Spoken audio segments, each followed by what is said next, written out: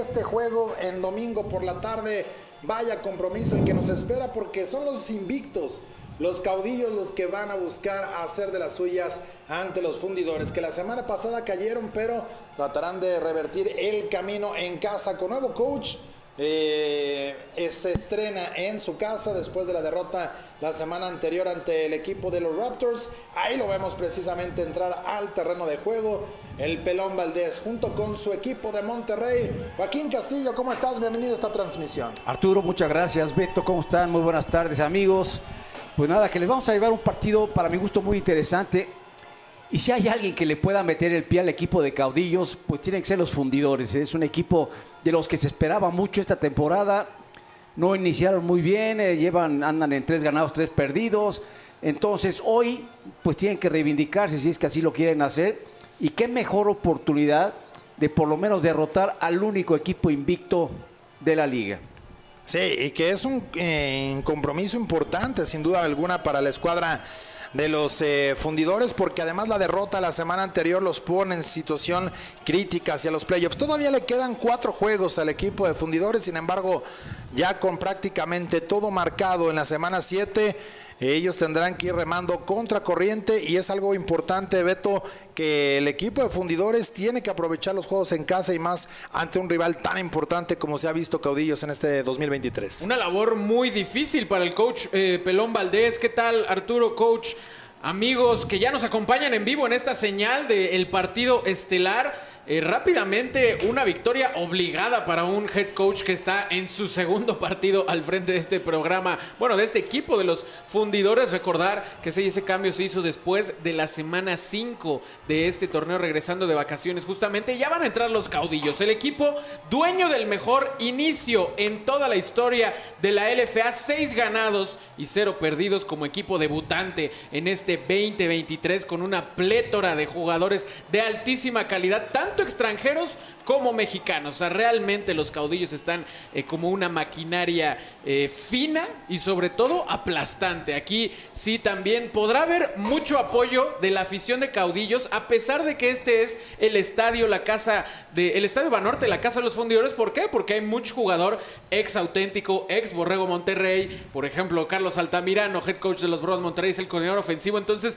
va a haber también mucha afición apoyando a los caudillos en este partido de visita y lo cual pues es muy valioso porque se sabe, se sabe que la gente de Chihuahua ha demostrado ser una de las mejores aficiones en este torneo 2023. Sí, sin duda, con un gran ambiente el que se vive allá en la, Autónoma de Chihuahua. Veíamos a Diego Bedoya, ahora algunos otros jugadores eh, rezando previo a lo que será este compromiso entre fundidores y caudillos. Uno de los partidos estelares, sin duda, no nada más de la semana, Joaquín, sino de la campaña, ¿no? Mucha gente esperaba este partido porque también, eh, ya lo decía Beto, hay muchos jugadores de Monterrey en la escuadra de caudillos, entonces existe esa rivalidad y evidentemente, pues eh, es parte de lo que podremos ver, de lo que podremos apreciar. Y me llamaba la atención eh, ver a Justin Lewis saliendo con su Chucky en mano. Como digo, no está ningún coach que le apoden Chucky del otro lado, pero de cualquier manera eh, llama la atención, ¿no? De traer los props, los objetos al terreno de juego. Bueno, ese es uno de ellos. Y el otro, bueno, llegó Superman también con el equipo de caudillos, ahí con una capa negra y amarilla. Un Superman vestido de colores raros, diferentes, pero bueno, ellos traen a su Superman. Y, además algo, algo extra en el partido, sin duda vamos a ver a dos de los mejores quarterbacks que hay en la liga. Por un lado está Jeremy Johnson y por el otro Shelton Epler. Shelton Epler es el número uno. Eh, la mera vez que es el único que tiene arriba del 60% de pases completos. Eh, en, su, en sus números en, en, anotaciones y intercepciones anda con 2, 6, 6, mientras que está mejor Jeremy Johnson en ese departamento. Pero bueno, yo, yo, yo insisto que este juego va a ser muy interesante. Además, pues ese, como decía yo, va a ser un extra que tendremos el ver estos dos chamacos que la mera verdad es que la están haciendo muy bien en la liga. Sí, ahí está el himno nacional mexicano. A ver si podemos escuchar brevemente lo que sucede en el Estadio Banorte.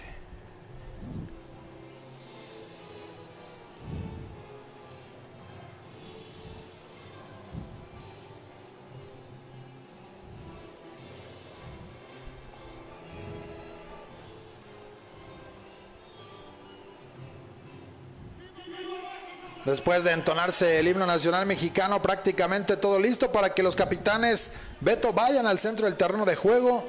Ahí está Fernando Mejía por parte de los caudillos, también Máximo González.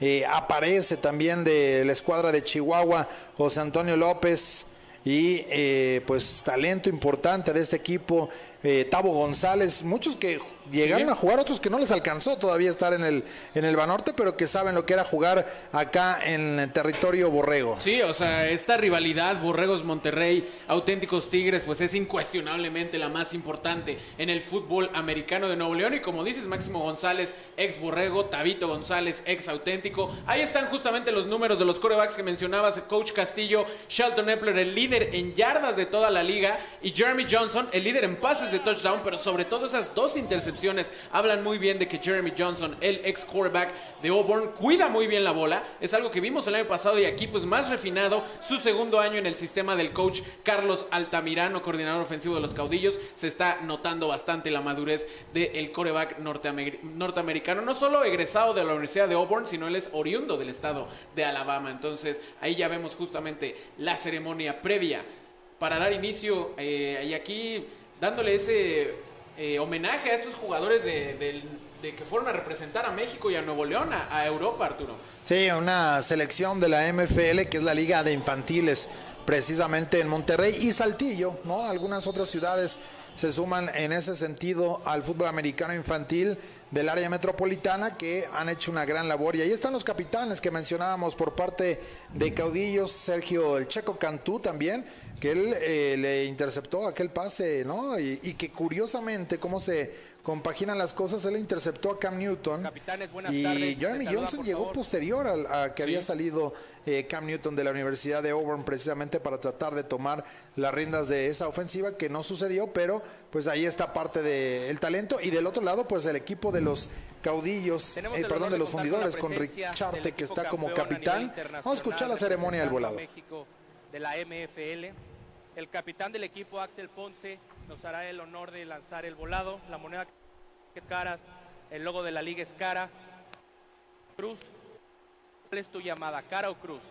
Pide cara. Cae cruz, el equipo local gana el volado. Se reserva la segunda mitad. Quieren el campo, quieren patear. Se ponen por favor enfrente a la pantalla. Ustedes junto a nosotros. Escuché decir a Mario Matos el que iba a patear. gana el volado y reserva su decisión a la segunda mitad. el equipo visitante decide recibir. Caudillos, no, ya de, recibir, ¿no? Porque juego, si no, te tocaría entregar el balón en ambas mitades. Eso digo, sucede raro, pero... Ha pasado. Ha pasado. Es la última vez que vas a salir de capitán. Si cometes error, Juaco, y el coach va a decir, ¿sabes qué, hijo? Ya no, no repites. O al menos no tomas la decisión. Sí, ¿no? sí, o sea, tú no vas a ser el de la voz. Además, algo se, digo, es algo que se acostumbra en la actualidad, caray. Antes normalmente pues lo que quería hacer era la pelota de inicio, ¿no? Y ahora todos, todos buscan tener la defensa en, en, la, en la primera opción, pues en la primera mitad para poder así recibir, recibir la pelota en el segundo medio. A mí me gusta más, Beto, Joaquín, el tener la oportunidad de diferir o ¿no? de declinar la decisión porque si recibes en la segunda mitad puedes anotar antes del descanso y convertir ya sea para regresar en el partido o estirar la ventaja un par de, de anotaciones lo cual puede cambiar las circunstancias en el partido veíamos a la planilla de oficiales que comanda Mario Matos y que ha hecho un gran ejercicio la LFA Beto para tener planillas no estable, es decir, van rotando, van modificándose y, sobre todo también con la cuestión de las sedes, ¿no? Que es muy importante. Al tener cinco juegos cada semana, creo que es una gran oportunidad la que ha tenido el FA para ir diversificando estas, estas, estas planillas y que piten en todos lados. Claro, y sobre todo también como oficiales, pues eso los mantiene en raya, ¿no? O sea, es una química distinta cuando ahí estamos justamente viendo ah, la planilla del día de hoy encabezada por Mario Matos, eh, del comisionado también, por supuesto, de esta LFA en el tema del arbitraje, los mantiene a raya y pues bueno, también para tal vez evitar todas estas polémicas que siempre han sido de nuestro fútbol americano, de los regionalismos y demás, pues bueno, la LFA haciendo esos esfuerzos para que cada vez más eh, crece la liga y con ello tiene que crecer el arbitraje porque pues es parte fundamental del fútbol americano. Y que tiene un cambio interesante, aparece eh, por ahí Gaby Martínez, ¿no? Como oficial en el partido, ella ha estado más en la repetición y Ricardo Siller, este, el bigotón, está ahora en la repetición instantánea eh, cuando le recordamos que electrolita es la hidratación oficial de la LFA. Si tienen calor, si están haciendo deporte o se fueron de fiesta, no se preocupen, electrolita es su mejor opción para estar al 110% al día siguiente las horas ¿no? necesarias para continuar con todo esto. Así que Lupillo Aguilar ya está todo listo, dice, para realizar la patada de salida y que venga este cierre de la semana 7. Vámonos con el kickoff. Viene el balón en las diagonales. Habrá regreso por parte de los caudillos. Ahí está tomándolo desde el lado izquierdo, buscando un espacio, tratando de ir de lado a lado, de este a oeste, pero no de norte a sur. Y van a arrancar desde la yarda 13 la ofensiva por parte de Chihuahua después de la devolución de los caudillos. Sí, yo todavía no entiendo el por qué no hincarse, ¿no? Si la pelota la estás recibiendo dentro de tu zona de anotación, la oportunidad que tienes es estar en la yarda 25 en el caso de dejarla que bote o hincarte. Y aquí hacen lo contrario, así es que van a iniciar prácticamente en su yarda 10 o dentro de la yarda 10 o dentro de la yarda 15, perdón. Por lo tanto, van a empezar pues bastante, bastante encajonados. Es que es lo que caracteriza a Juan Manigo Sonic, el número 13. 879 yardas de regresos muchas vienen justamente de esas decisiones dentro de su propia yarda, o sea, de la menos 8, si así le podemos llamar, pero es un arma de doble filo. A veces la sube hasta la yarda 50, aquí apenas saliendo a la yarda 12. De acuerdo, así que viene la primera oportunidad desde la 13 para la escuadra de Chihuahua con cuatro receptores, dos de cada lado para Jeremy Johnson. Aguanta el envío, el paso un poquito alto, el envío que es completo, pero van a perder yardas en la recepción Justin Lewis. Así que será segunda oportunidad y largo en este inicio de partido. Inicia agresivo, ¿no? El equipo de, el equipo de los caudillos. Aquí vemos a Jeremy Johnson como lo atacan rápidamente. Se tarda un poquito en sentar la pelota y esto le quita la oportunidad a su corredor de poder por lo menos tratar de avanzar más la pelota en esa opción que tiene dejándolo solamente libre, él en contra del hombre que lo va a marcar, pero aquí la entrada del, del defensivo es muy rápida, buena reacción y lo detienen en una gran línea ofensiva que también tiene la escuadra de los caudillos de Chihuahua. Jeremy Johnson en formación escopeta, entrega el balón, va por el centro y no hay nada. Se cierra la defensiva y es una gran frontal la que tienen los Fundidores de Monterrey, un duelo importantísimo. Este en las trincheras, precisamente del lado ofensivo de Chihuahua y la defensiva de Monterrey. Sí, Justin Lewis llega a este partido como el segundo mejor corredor. Bueno, antes, antes de los demás partidos, antes de la semana 7, Justin Lewis se colocaba en la segunda posición. Pero también es el mérito de esta línea ofensiva porque no presionan a Jeremy Johnson. Es muy raro que capturen al coreback número 6. Va a ser clave ese matchup, como dices Arturo. Tercera oportunidad y largo. Le van a cargar con cuatro a Jeremy Johnson que tiene tiempo la bolsa de protección, amaga espacio para correr, sin embargo encuentra el receptor y el pase es completo hasta la 35, sigue todavía de pie y encuentra el espacio, Juan Manigo cruza la 40, de pie a la 30, sigue todavía hasta la 21, gran recepción por parte de mi amigo Manigo, que pone una jugada grande para los caudillos en tercera oportunidad. Sí, no cabe duda que un porcentaje un porcentaje grande de la, de la ofensiva de este equipo es Manigo, este número 13. Pero el gran trabajo, sobre todo de Johnson, ¿no? Cómo se quita la presión. Empieza a buscar, a buscar, viene la presión por fuera, encuentra un espacio del lado izquierdo, sale y nunca deja de ver al frente, o sea, nunca deja de ver a los receptores y finalmente encuentra a Manigo. La habilidad de Manigo es indiscutible y no hay forma de tenerlo con la primera tacleada. A la zona roja, los caudillos con gemelos a la izquierda. Jeremy Johnson va profundo flotando el envío. El pase es incompleto, demasiado largo. Buscaba al receptor, sin embargo, le sobraron galletas. Creo que se echó muchos tacos en la mañana de, de barbacoa. Sí, no, no en esa jugada. Regresando a esa jugada anterior, hablábamos justamente de que en el regreso de kickoff Manigo arriesgó y aquí prácticamente un pase de 15 yardas lo convierte en una jugada de 70. Esa es la explosividad del número 13. El momento más peligroso es cuando Sonic Manigo está en el campo abierto, porque ahí casi te puedes olvidar de él. Segunda oportunidad entonces para los caudillos en territorio enemigo. Amenaza de carga, van a ir con 5, entrega la pelota. Y hay buenos bloqueos para generar yardas. En el acarreo por parte de Justin Lewis. Se va a quedar corto del primer down, sin embargo ya mucho más favorable la situación para la tercera oportunidad. Sí, nuevamente con ese inicio de optativa de pase carrera, decide correr por fuera, buenos bloqueos, ¿eh? A mí me daba todavía la impresión de que iba a ganar más yardas, pero bueno, se queda dos yardas de la zona de anotación, perdón, del primero y diez. Y bueno, ¿cómo va a haber rivalidad, caray? Si, si los, los fundidores traen puros tigres y los caudillos traen puros tex de Monterrey, algo debe de haber ahí, ¿no? De acuerdo. Tercera oportunidad y dos para los de Chihuahua. Ponen hombre en movimiento. Entregan la pelota. Va a doblar la esquina. Peleando para llegar. Y sí, tiene la marca del primer y diez. Joan Manigo. Así que tiren las cadenas. Primer y gol. Y ahí está, justamente. ¿Para qué? Sobrepensar las cosas. Simplemente, una vez más, pon a tu mejor jugador en el campo abierto. Vean nada más cómo baja muy bien este linebacker. Pero pues la velocidad del número 13 es elite en el nivel de la LFA. Y eso es suficiente. Necesitaba dos yardas. Consigue cinco. Primera y gol. Ahí están en una buena serie ofensiva. La que ya lleva trabajando Jeremy Johnson en la ofensiva de los caudillos. Flota el pase hacia el lado izquierdo. El pase es incompleto.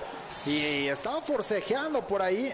No sé si le vayan a cargar una infracción a Javier Sánchez, seleccionado nacional también, pero eh, me da la impresión que el, el, contacto viene por parte de la ofensiva, eh, en primera instancia. Sí, vamos a ver qué nos dice el oficial. eh. Los dos se venían, eh, los dos se venían agarrando y si se la marcan al defensivo.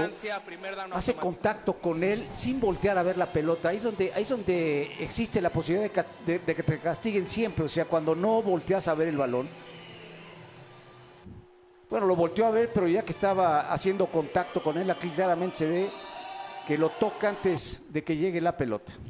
Pues es primer y gol desde la yarda 4 aquí para los caudillos con cuatro receptores. Jeremy Johnson tiene un corredor en el backfield, amenaza de carga. Tiene que deshacerse rápido el balón. Play action, el pase es incompleto, demasiado alto. Como que no se entendió precisamente con el posible receptor que era Manuel Martínez en el pase, así que es segunda oportunidad de gol. Sí, segunda oportunidad. Eh, en primera abres por aire, pero aquí sí, pues bueno, también el backfield de los caudillos con Justin Lewis y Fernando Mejía. No está en el campo en estos momentos, pero está el número 2, que insisto, llegaba como uno de los corredores más prolíficos de esta semana 7 de la LFA. Colocándole los mismos cuatro receptores, pero también hay seis jugadores en la línea de golpeo por parte de la defensiva. Va a ir al aire, Tuto vea ahí, el pase a una mano, lo tiene. Touchdown. Anotación de los caudillos. Marcus Hardy se queda con el balón y abre en la pizarra en este partido 6 por 0. Chihuahua está al frente. Sí, colocó a tres receptores del lado, izquierdo, del lado derecho, perdón, uno del lado izquierdo, y ahí es donde está la cobertura personal. Exactamente, ahí es donde ataca Johnson, aprovechando la gran estatura y la corpulencia de su receptor comparado con el hombre que lo estaba marcando. Así es que una anotación, pues podríamos decir sencilla por parte de- del equipo de caudillos. Gran ofensiva.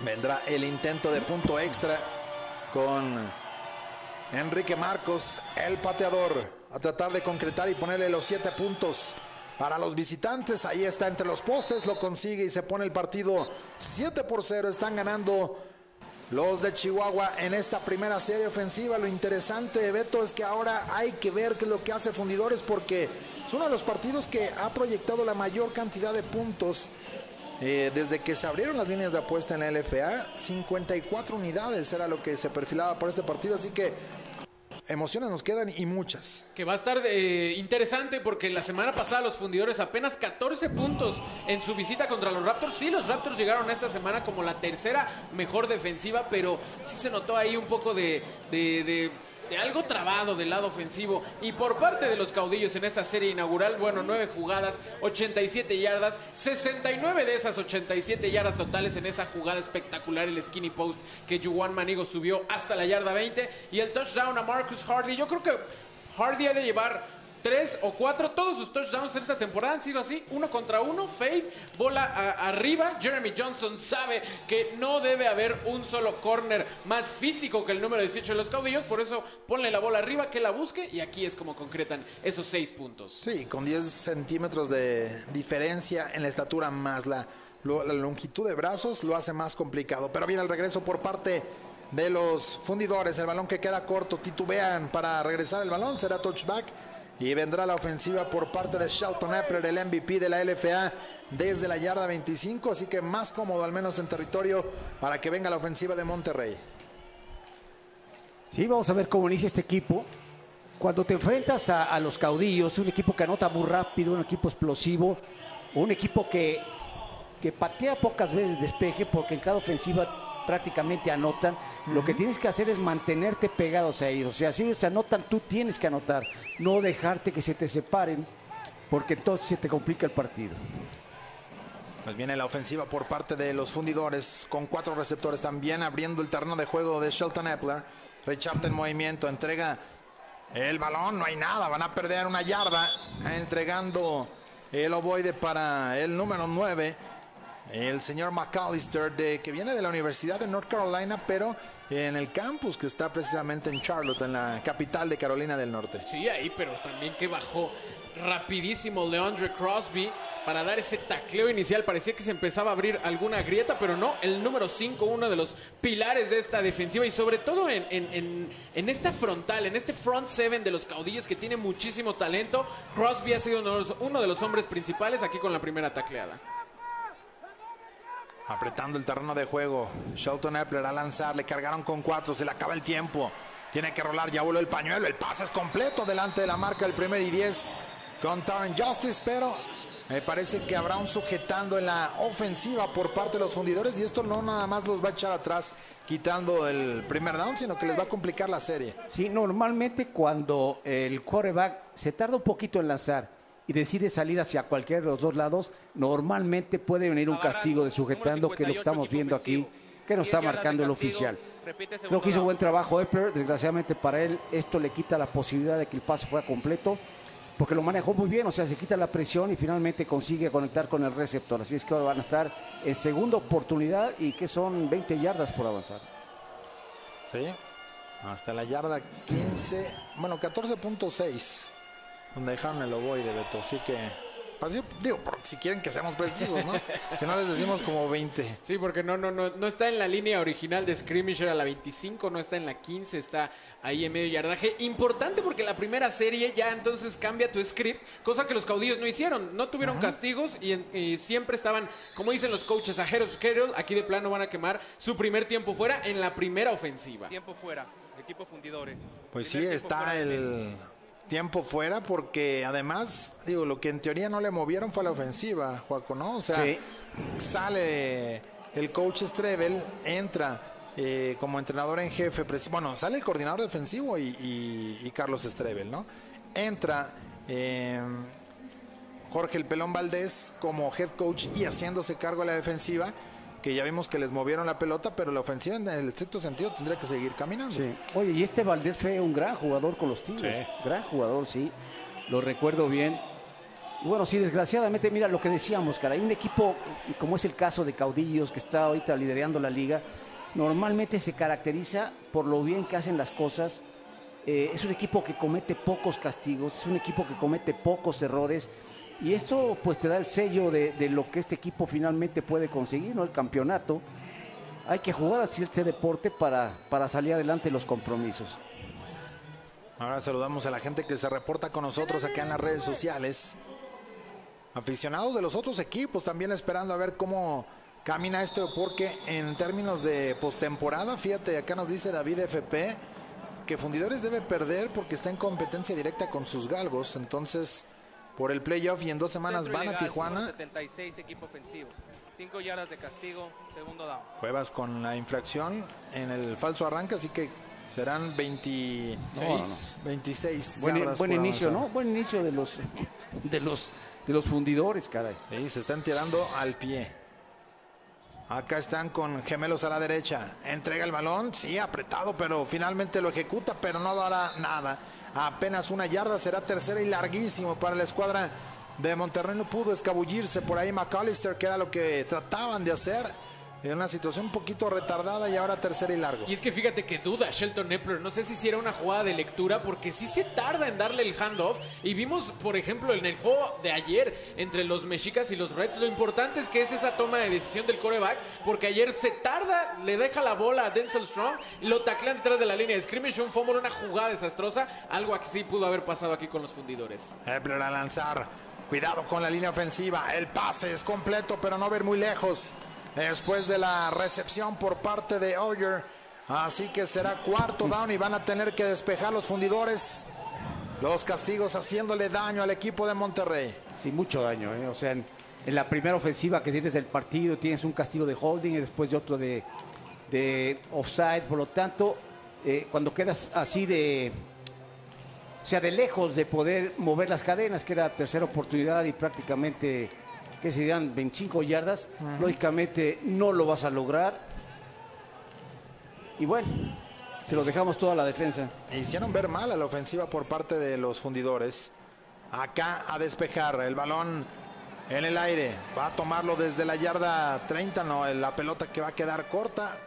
Finalmente el bote le favorece a los fundidores porque no habrá regreso Sí. de Joan Manigo. Aquí la clave es no le des la oportunidad a Manigo que vaya a tomar el balón y lo regrese. Ponla afuera mejor. Y sobre todo porque esas al número 13 le encantan, esas de rebote, porque los gunners del lado que, del, equipo que despeja usualmente ya no esperarían que el fielder tome el balón, pero a él le encanta agarrarlas de frente la bola y ahí empezar su trayecto. Yarda 30, buena posición en comparación con la serie anterior y pues bueno, una maquinaria que ya sabemos que es los caudillos, la mejor ofensiva en puntos anotados de esta temporada hasta el momento. Uno de uno en este domingo por la tarde.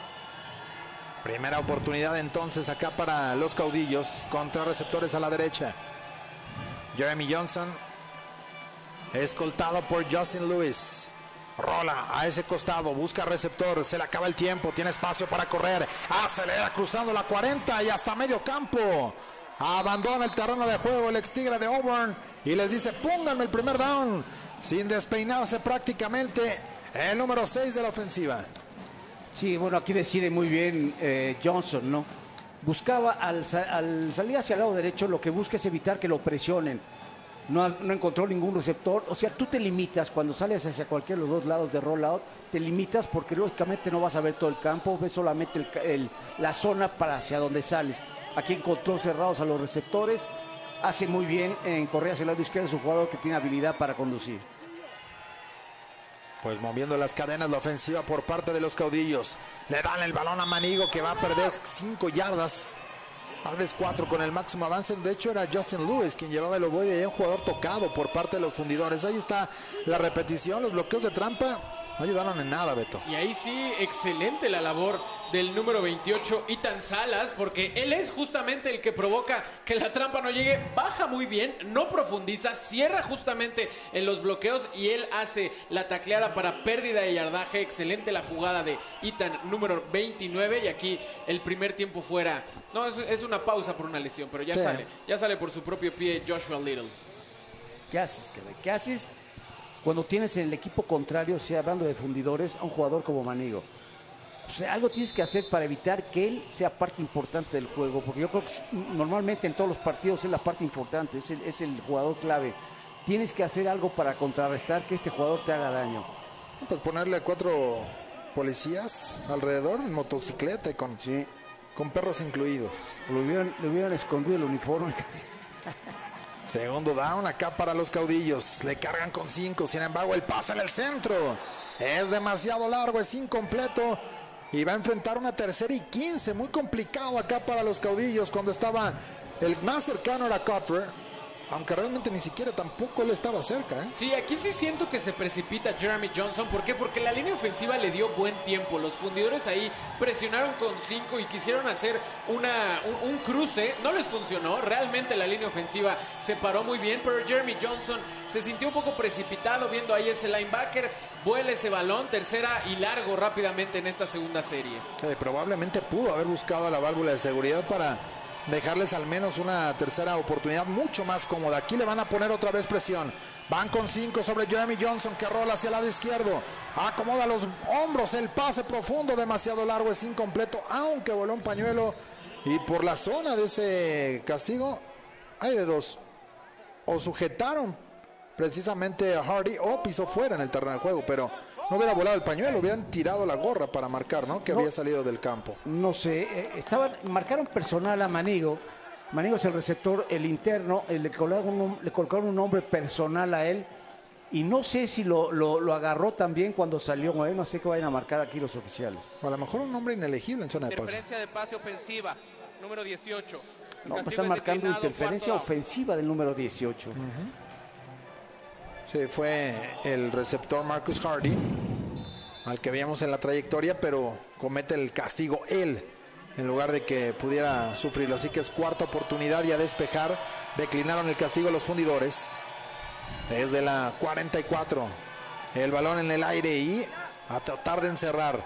Queda corto. Después del bote toma la pelota del equipo de fundidores. Atención porque viene al regreso. Ya voló un pañuelo. Y seguramente va a tener que retroceder a pesar de la buena posición de campo para Prince Robinson. Pero los fundidores van a tener que ir hacia atrás en su terreno para arrancar con su segunda serie ofensiva que esperan que sea mejor que la anterior. Aquí vamos. Ahí está, justamente sí le da el empujón por la espalda y además sí es clave para que eh, Prince Robinson pueda generar ahí esas yardas extra. Regresando a esta defensiva de los fundidores, lo importante que es una detención detrás de la línea de scrimmage. Esa jugada del número 29, Ethan Salas, de los fundidores, justamente rompe el esquema, rompe el script que traían los caudillos preparados para esta segunda serie y prácticamente eh, le devuelve la bola de manera inmediata a los fundidores. Entonces, a pesar de que perdieron casi 15 yardas en la serie anterior, pues bueno, ya tienen otra vez nuevamente la bola. Pues es primera oportunidad entonces acá para el equipo de Monterrey, los fundidores con la pelota desde su yarda 13. La misma con la que arrancó Caudillos en su primera serie del partido. Gemelos a la derecha. Shelton Epler en los controles. Entrega el balón buscando el espacio. Tiene que atacar de inmediato McAllister. Nunca se abrió el hueco y por eso, aunque fue paciente Joaquín, pero tuvo que al final ir hacia adelante para no perder yardas. Consigue dos. Sí, de alguna manera lo que pareció una pérdida de, yardaje porque el hueco inicial estaba totalmente cerrado. Vean cómo ataca al frente, pero después sigue al hombre que era como el que iba a la interferencia, el número 39, que era el que supuestamente tendría que bloquear y por ahí trata de avanzar el corredor. Y bueno, por lo menos consigue yardas. Está caminando rápido este primer cuarto, le quedan cinco minutos cuando enfrentan los fundidores, segunda oportunidad y siete, amenaza de carga por parte de los caudillos. Shelton Epler a lanzar. Tiene tiempo y ahora se le acaba y es detenido atrás. Ahí está la captura por parte de Octavio González. Quien estuviera en el campo de entrenamiento con los vaqueros de Dallas y los gigantes de Nueva York. Consigue la tacleada y ahí están poniendo en predicamentos a los fundidores. Un jugador de época, Tabito González, aquí en los auténticos Tigres. Digo aquí porque, pues bueno, él se estableció como una de esas figuras legendarias de la primera eh, parte de la década pasada en la Liga Mayor. Y aquí regresa a Monterrey para recordarnos la calidad extraordinaria que tiene el número 93. Tiene una gran carrera con el equipo de los auténticos Tigres. Y acá buscando a Shelton Epler que va a lanzar el balón. Tiene tiempo, el pase es completo. Y van a mover las cadenas adelante de la 30 con McAllister. Primer y 10. Sí, se mueve muy bien Epro en esta jugada. Pero lo sigue presionando demasiado. O sea, o, se deshace rápidamente de la pelota o va a tener un día bastante largo. Porque los frontales del equipo de Caudillo están atacándolo en serio. O sea, lo han presionado prácticamente en todas las jugadas. Pero se mueve bien. Sí. Encuentra un espacio y finalmente consigue que el receptor se coloque atrás de los linebackers. El pase al flat es completo. Buscando los bloqueos. Consigue llegar la pelota hasta la 30, a la 44. La 34 es finalmente donde queda el oboe de corrección. Y, haciendo un paréntesis con lo de Tavo González, él también fue parte de estos fundidores. Sí, sí, sí, exactamente. También ya formó parte aquí de. Es, un, es un orgulloso jugador regio y uno de los mejores, insisto, de por lo menos los últimos 20 años. Y aquí justamente el antídoto para una presión que esté generando un rush como Tabito, como máximo, pases rápidos como el anterior que vemos a Richarte. Acá contra los receptores a la derecha había movimiento en la línea, el pase en el centro es completo y ya tienen el balón en territorio enemigo, no alcanzan a frenarlo, pero muy cerca de llegar a las 50 otra vez con Fernando Richarte, el exjugador de los Dinos de Saltillo. Sí, buena, buena lectura aquí de Epler. Ve que viene la carga y de inmediato sabe que el espacio va a quedar antes de llegar a la zona de cobertura. Entonces como el pase lo suelta así rápidamente y esto lógicamente le, ayuda y mueve las cadenas, otro primero y diez. Y aguanta el castigo también de la defensiva. Primera oportunidad desde la 49. Hacia atrás, Shelton Epler, le llega la presión, el pasa en el centro, es incompleto. Hoyer que pedía el castigo, no hay infracción en el terreno de juego. Estaba la cobertura pegadito precisamente Leandro Crosby. Pero cuestionable ahí, Beto. Creo que se queja muy rápido del, castigo. No sé si hubo un, un sujetando en la trayectoria, pero no interferencia, ¿verdad? Sí, o sea, estaban ya los dos en el suelo. Tal vez se quejó porque pues, está diciendo, oye, me están tacleando. Pero lo que aquí en esta jugada anterior, bueno, un poco de resaltar, los caudillos, a pesar de que ya Epler empieza a entrar un poco más en comodidad, siguen mandando la presión para intentar romper la tranquilidad del quarterback MVP en, la bolsa de protección. Gemelos a la derecha para Epler y los fundidores. Tiene tiempo, le cargan con cuatro hombres. A lanzar el pase completo, sí señor, tiene el primer y diez. Aunque aguante el castigo, se queda Batiste con el ovoide y pone la primera oportunidad, mueve las cadenas. Muy bien aquí otra vez Epler. O sea, está, está dándose cuenta que la presión viene por fuera. O sea, está tratando de que él no se mueva lateralmente, pero sí tiene espacio exactamente enfrente de él para por lo menos conseguir alargar un poco más la jugada, evitar que lo capturen y también conseguir este, conectar con su receptor.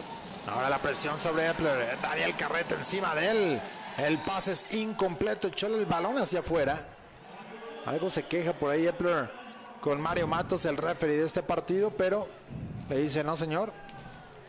Todo dentro del marco. Es que, a es que a McAllister no le gustó ese empujoncito que Carrete le da a Shelton Epler, pero sí lo marcan como dentro de la jugada. Aquí, por ejemplo, ya vimos que Carrete ya toma, eh, o al menos en la jugada anterior, él fue quien generó la presión del lado izquierdo. Ya le están dando descanso a Tabito González. Y Epler tiene que tener atención de Baleña, el número 4 que ustedes ven a la izquierda en la pantalla, linebacker. Y van a llegar la Epler y ahí está capturado, detenido atrás. Aparece Javier Dyer con la captura. La segunda para los caudillos en este partido. Sí, este es el líder de capturas del equipo de, de caudillos, con seis, aquí agréguenle una más, tiene siete, pero vean cómo deshace al hombre que supuestamente lo tendría que, que bloquear. Mucho, va a, ser, va a ser un día complicado para Epler si no lo si no ajustan ahí de alguna manera para evitar que lo estén presionando. Eh, sobre todo el caso de Dyer, yo creo que él lo tienen que, que controlar. Aquí están en rango para jugarse en cuarta oportunidad, pero necesitan avanzar la pelota.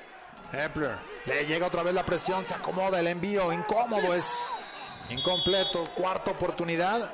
El problema aquí para fundidores en la decisión es que son casi 15 por avanzar y prácticamente es entregar el balón en el medio campo, así que van a tratar de ganar la posición de campo. Aquí sí está dominando esa frontal de los caudillos, sobre todo Castigo es declinado, cuarto down. Ahí estaba, había un castigo, pero es declinado. Va a entrar al equipo de despeje. Sobre todo en las dos jugadas de Tabito González y en el sack también de eh, el número 7 de Dyer.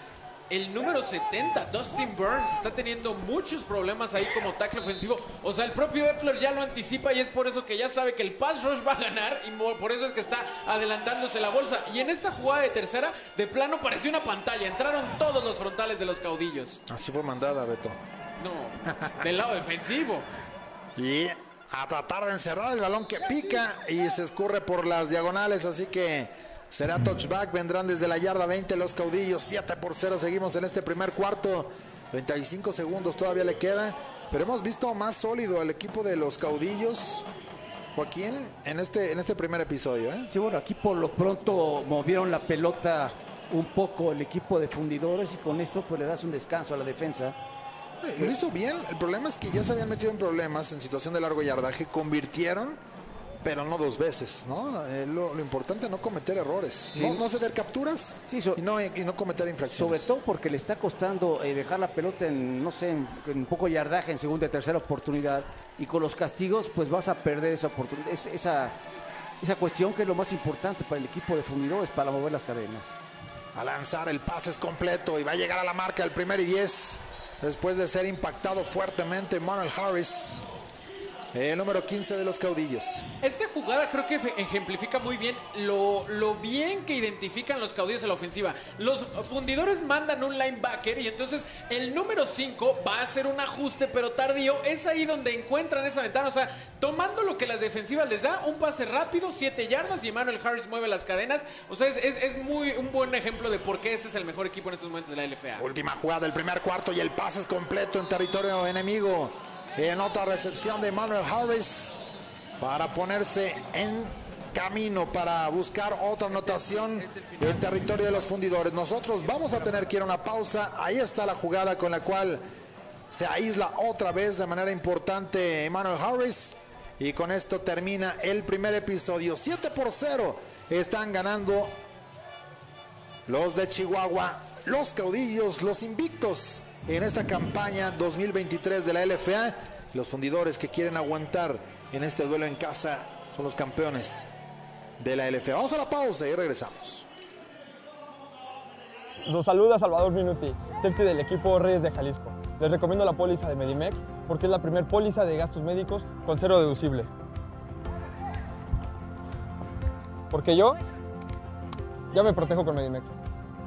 Protégete.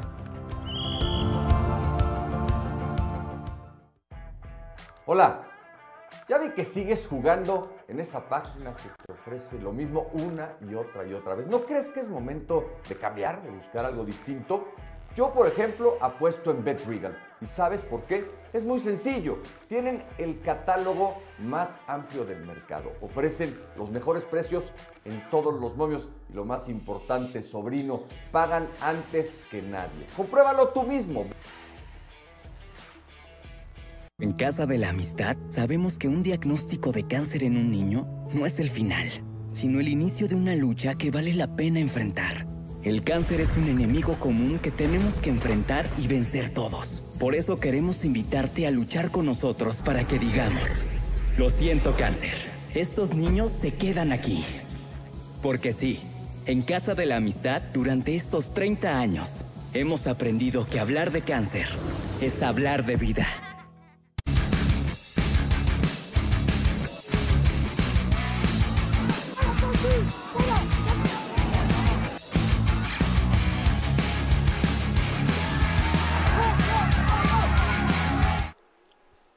De regreso en este partido entre los caudillos y fundidores. Jeremy Johnson con el envío. El pase es completo. No. Se le escapó la trucha Emmanuel Harris. Así que será segunda oportunidad y 10 por avanzar. Así arranca este segundo episodio. Estamos 7 por 0. Beto García, Joaquín Castillo, un servidor Arturo Carlos Joaquín.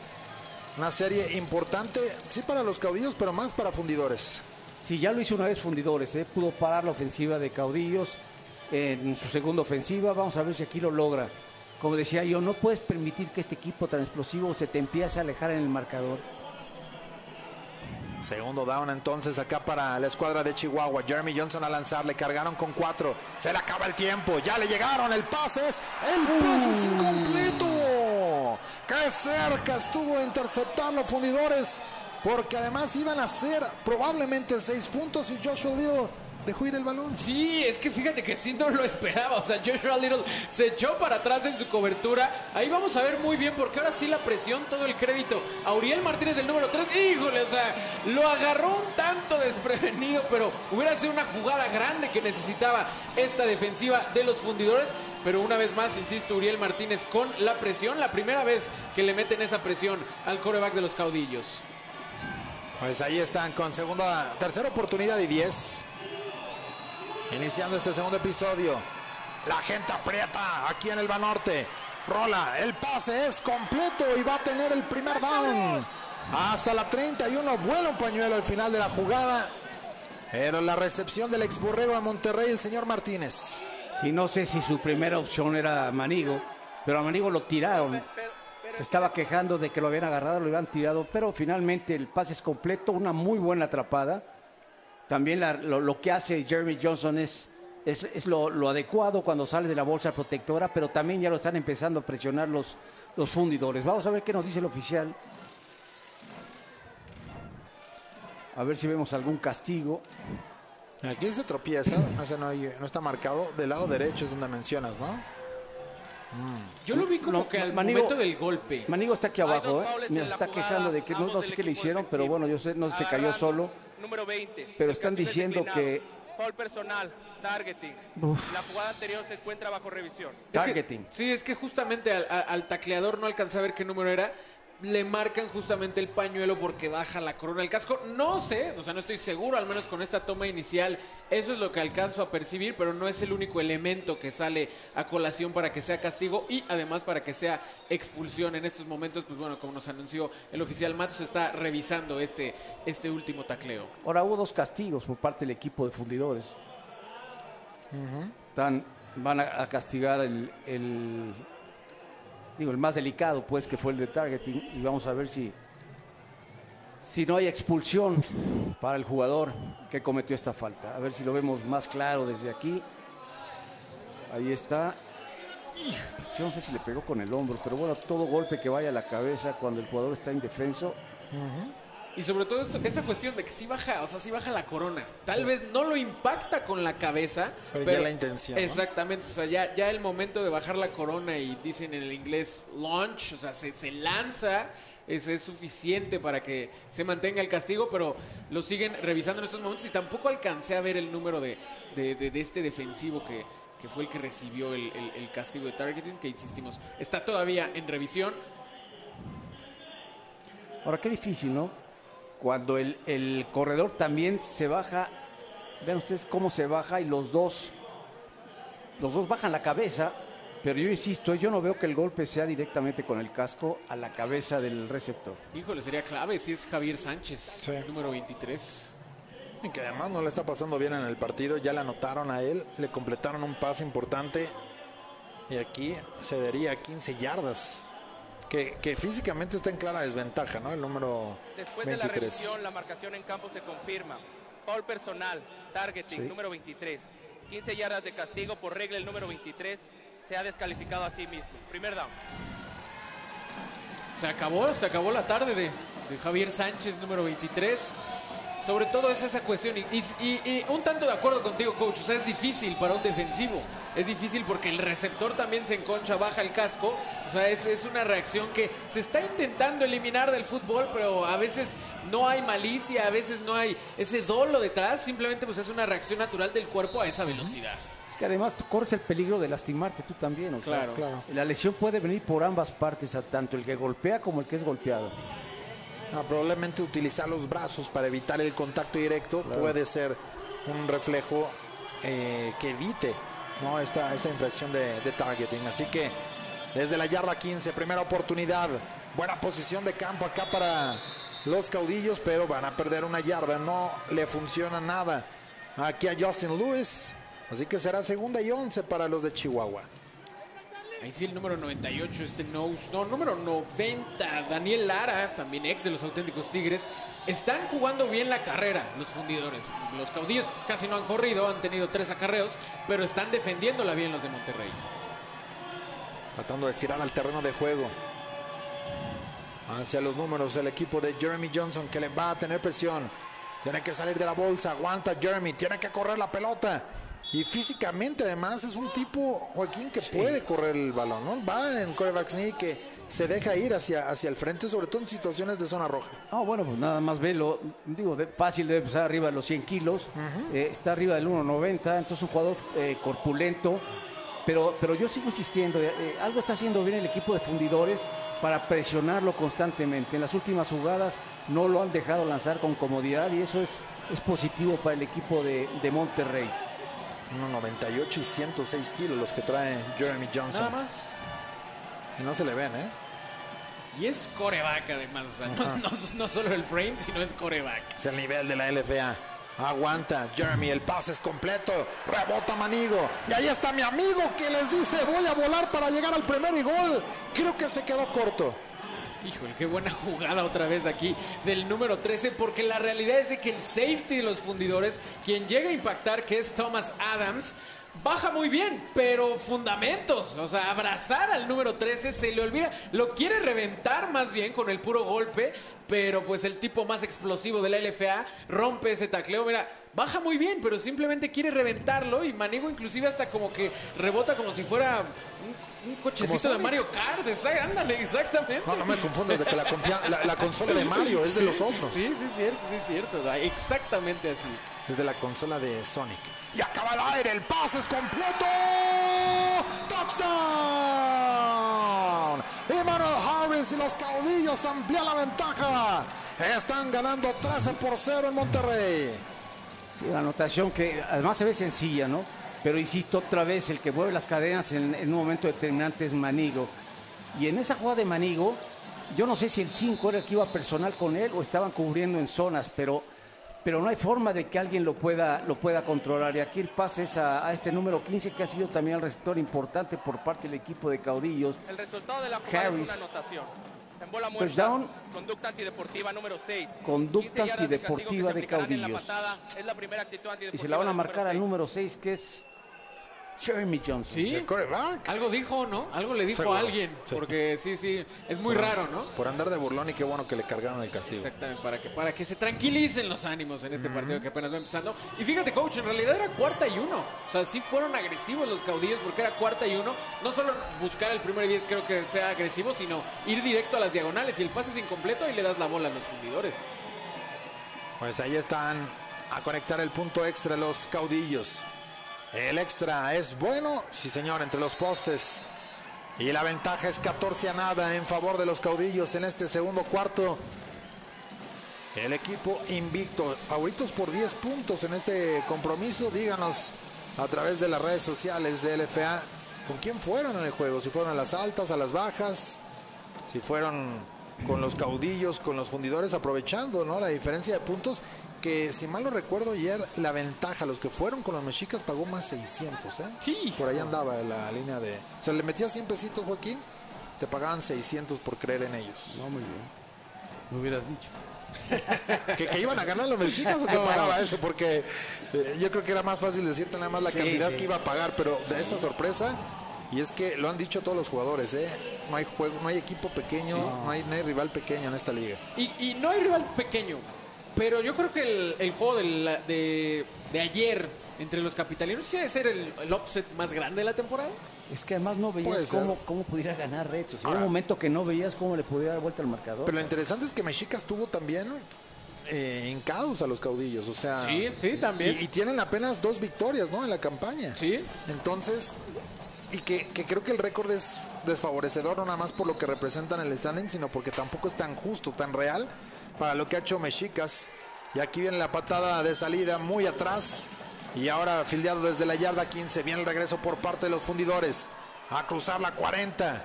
Y van a tener una gran posición de terreno después de la infracción. Así que esto lo tiene que aprovechar la ofensiva de fundidores porque es lo que decíamos, ¿no? Era importante la serie para caudillos, sí, pero más para fundidores. Para no irse abajo por dos anotaciones y ahora tienen que remar contra corriente. Sí, empezando el segundo cuarto, pero sí tiene que ya salir a relucir ese ataque ofensivo liderado por el MVP reinante de la LFA, Shelton Epler, líder pasador, su plétora de receptores, Torrin Justice, Duke Batiste. Duke Batiste apenas tiene una recepción, Torrin Justice creo que no lo hemos visto todavía recibir el balón, tal vez una recepción, entonces ya empezarle dar, empezarle a dar la bola a esos jugadores que son los game changers de esta ofensiva de los fundidores. De acuerdo, saludos para Ángel Nájera, para Foster, Joe Martí, Aldo, Rubén Campos y Oscar Heribes, toda la gente que nos escribe a través de YouTube. Van a correr la pelota, nada por el lado izquierdo. Apenas, pues va a perder incluso media yardita, ¿eh? Sí. Pues, tratando de doblar la esquina. O sea, hay que, tiene que correr la pelota el equipo de, de fundidores. Cosa que no han hecho. ¿eh? Les ha costado mucho, pero mucho trabajo. Y para un sistema, como decíamos, con, con engaños de triple opción, eh, de pase y carrera, si no mueves la pelota, si no corres la pelota, pues tampoco los linebackers te van a hacer caso. Entonces mucho más fácil, perdón, mucho más difícil que puedas atacar el- el- la secundaria. Segundo cuarto en este partido entre los caudillos y los fundidores. Shelton Appler con el pase. McAllister tiene la recepción. Trata de cortar hacia adentro, pero no hay nada. Gran trabajo como libro de texto en el tacleo. A campo abierto, Beto. Y ahí estaba el esquinero. Sí, no, estas dos jugadas demuestran la disciplina que tiene la defensiva, porque aquí es el número 26, Sergio Cantú. En la anterior fue otra vez Leandre Crosby, o sea, baja muy bien. Hace su candado, no permite nada. Y aquí lo mismo con Cantú. Está en el campo abierto, pero le cierra ese terreno a McAllister. Muy buena disciplina que están teniendo los caudillos en el tacleo en este segundo cuarto. Saludos a toda la familia Cantú. A estos que fueron los cuates y además uno más que estaba con los auténticos Tigres. Acá le llegan a Shelton Appler y es detenido atrás. Otra vez le cayó Javier Dyer. La octava captura en esta campaña y vean cómo le dejó ya el jersey a Shelton Appler. Vamos a tener que hablar a los que hacen el jersey para acá. Seguro tienen como 10 más ahí. Sí, mira, nuevamente muy presionado. O sea, sale para el lado correcto porque es un pasador derecho. Sin embargo, no encuentra ningún receptor. O sea que aquí la captura se la podemos eh, pues dar a la defensiva secundaria del equipo de caudillos, que nunca soltó los receptores de fundidores. Es cuarto down a entregar el ovoide entonces acá para los de Monterrey. La pelota en el aire para tratar de ponerla lo más lejano posible, pero queda corta. El bote les favorece un poco, unas 5 yardas. Por ahí trataba de arañar el ovoide del señor Sainz para que eh, pudiera avanzar más la pelota, pero no llegó. Así que de cualquier manera van a tener una muy buena posición de terreno acá los caudillos que están ganando 14 a 0 en este partido y que empiezan a sentirse cómodos en el terreno de juego. Y es lo que iba a comentar, otra vez una serie urgente para la defensiva de los fundidores, porque ya empezar a pensar en un 17-0, en un 21-0, puede complicar muchísimo las aspiraciones de los fundidores. Ya vimos en la serie anterior que están presionando a Jeremy Johnson, que por tierra realmente los caudillos no han estado, no, no han hecho nada. Entonces, aquí sí es esta defensiva de los fundidores necesita crecerse, un tres y fuera o inclusive un robo de balón. Ajá. Y fíjate, es, Fundidores además tiene dos derrotas de manera consecutiva. Evita o busca evitar la tercera después de aquella derrota que tuvo contra los Dinos antes de la semana de descanso en el lunes por la noche. Sí, mira, yo, yo creo que es importante, como dice Beto, que la defensiva de, de surtidores pueda parar este equipo, que yo lo veo prácticamente imposible. En este tipo de partidos yo creo que es más importante la ofensiva. Sea, que tú puedas manejar y controlar el tiempo de la pelota, o sea, que no, no, no, no sean tres y para afuera, porque entonces vas a tener al equipo peligroso dominando a tu defensa todo el juego. De acuerdo, y el pase es completo. Trata de acelerar, después les cambia la dirección, pero no había absolutamente nada para generar yardas después de la recepción. Sin embargo, el daño ya estaba hecho con Emmanuel Harris quedándose una buena atrapada. Y es importante para ellos, Beto, el seguir con el ritmo, moviendo la pelota. Y es que aquí, por ejemplo, hace rato preguntabas, coach, ¿cómo detienes a Manigo? Pues mira, ya hace creo que tres series que no vemos una recepción de amigo. Bueno, él tuvo la, la, anterior ahí para poner el cuarta y cuarta y una yarda en la yarda 5. Pero si pones tu atención en Manigo, pues está Emmanuel Harris. Y si pones tu atención en Emmanuel Harris y en Manigo, pues está Marcus Hardy. O sea, está imposible de detener esta ofensiva también por esa calidad de los receptores que tienen en el espacio abierto. Importante aquí este down para Jeremy Johnson que prepara el brazo, va ir profundo, soltó el envío, el pase profundo es incompleto. Le alcanzaron a desviar a Emmanuel Harris y se hace de palabras por ahí con el corner, como que algo no le gustó del trabajo que hizo Jeremy Crowther, pero creo que fue muy, muy efectivo. Y este tipo de circunstancias, Joaquín, lo va a intentar Jeremy Johnson cada vez más, ya con Javier fuera del terreno del juego. Sí, aquí el pase le, le salió un poco corto, ¿eh? porque ya el, número 18 de el número 18 de Caudillos había rebasado a la secundaria de, de fundidores, el número 18 que se llama Hardy. O sea, si el pase hubiera sido más profundo, hubiera sido anotación por parte de Caudillos. Bueno, pues es cuarta oportunidad a despejar acá para Chihuahua. El balón en el aire.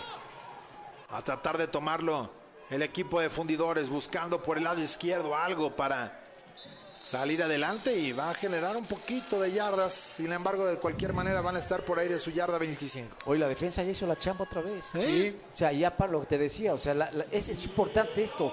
Pero aquí es más importante la ofensiva, o sea, que controle la pelota, que muevan el balón, que, que consigan los primeros y dieces, no anotar de un solo bombazo. O sea, realmente, o sea, jugar fútbol, cara, es lo que necesitan y mantener al equipo ofensivo de, de caudillos, que es muy peligroso, pues sentado en la banca. Sobre todo también, Beto, dejarle oportunidad a que corran la pelota y no solo con McAllister, ¿no? Sí, no, o sea, intentar justamente que, que, la defensiva de los caudillos te respete un poco, porque en estos momentos la frontal, la línea defensiva está comiéndose a la línea ofensiva de los fundidores y es por eso que no están pudiendo hacer nada. Pues viene la primera oportunidad, esto será jugada gratis, no.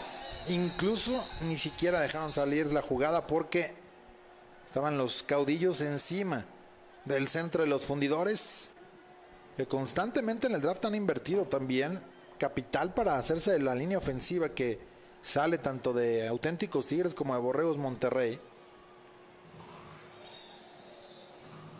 Invasión defensiva número 55.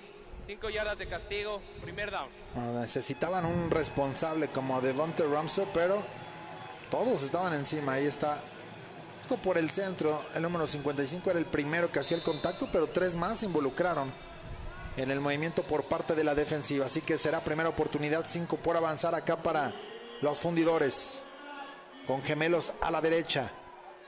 Shelton Epler, formación escopeta en este estadio Banorte que está viendo caer a sus fundidores 14 a 0, pero una serie importante aquí antes de irse al descanso.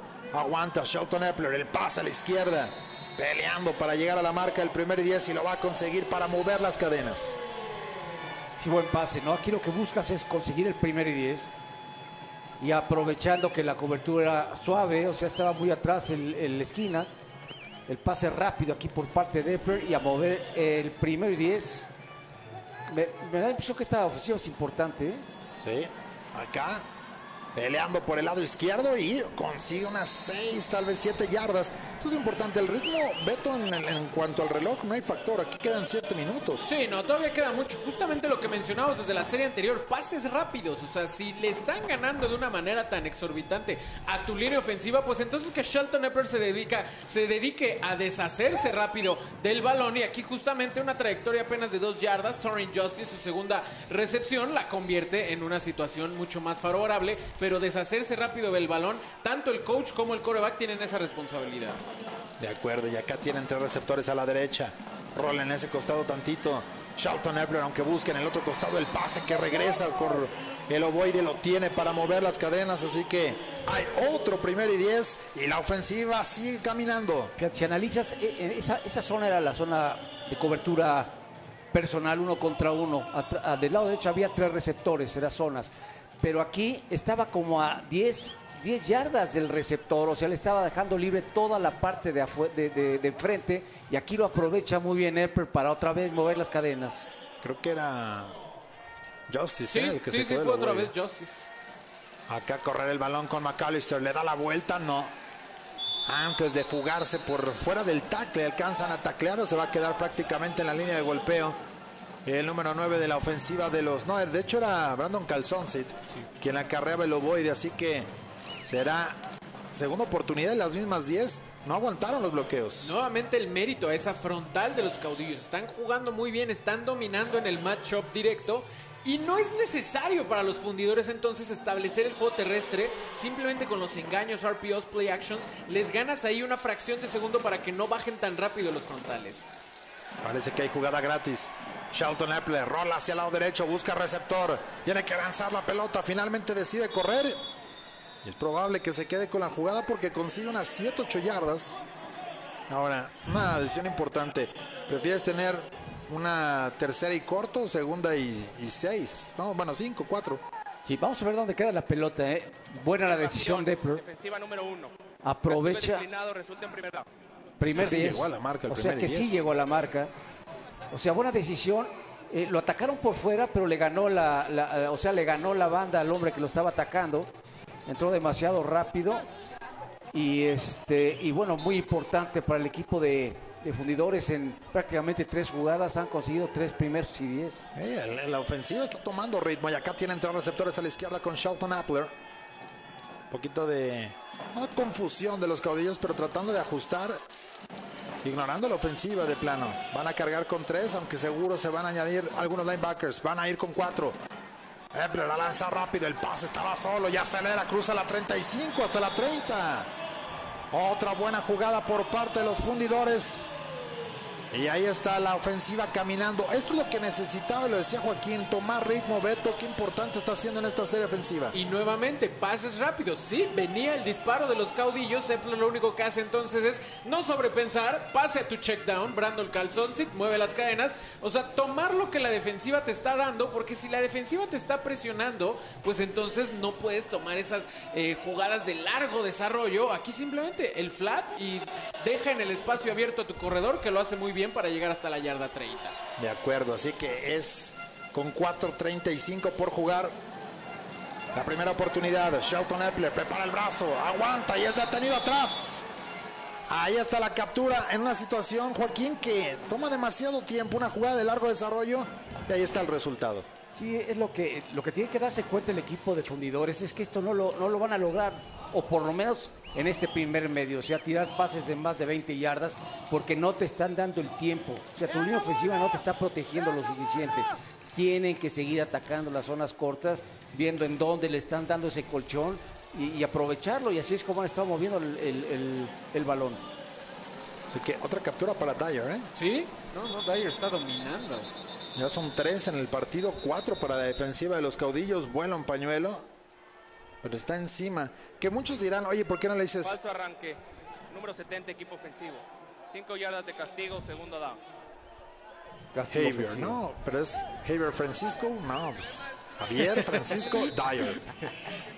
O, o es que, por ejemplo, allá luego también... hay Brian Pérez, pero O, o- Xavier, pero pues es que no es con X, es con- Exacto. es con J. Entonces, que ya el Javier es con X. sí, exacto. Así que nombre latino para el señor Dyer, que ya te lleva tres capturas en el partido y ahora metiéndose en problemas fundidores con la captura y la infracción. Hombre en movimiento para tener cuatro receptores, dos de cada lado para el señor Shelton Epler, que aguanta buscando con quién. Y finalmente se frena la acción pero sufriendo aquí fundidores y ahora entrando a una circunstancia en la cual pues es apremiante buscar la primera oportunidad o probablemente digo quedan tres minutos prácticamente en este segundo cuarto. Jugártela llegar a la situación de cuatro downs pero Jeremy Johnson necesita 30 segundos para moverte el balón ¿eh? Sí, no, no, y sobre todo aquí lo clave que fue el sack y luego el castigo. O sea, vienes de una muy buena serie, vienes moviendo las cadenas, coach, pero una jugada te echan para atrás y luego tú te vuelves a disparar en el pie. O sea, lo que Esta venías... es una presentación de la Liga de Fútbol Americano Profesional de México.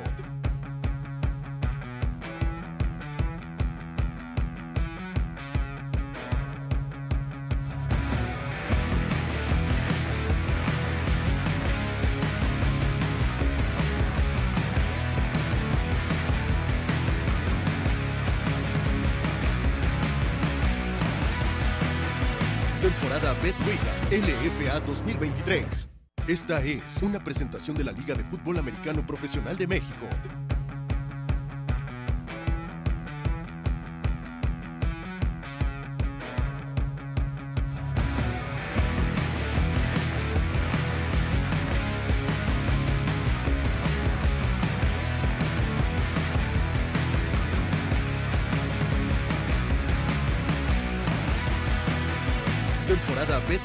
LFA 2023.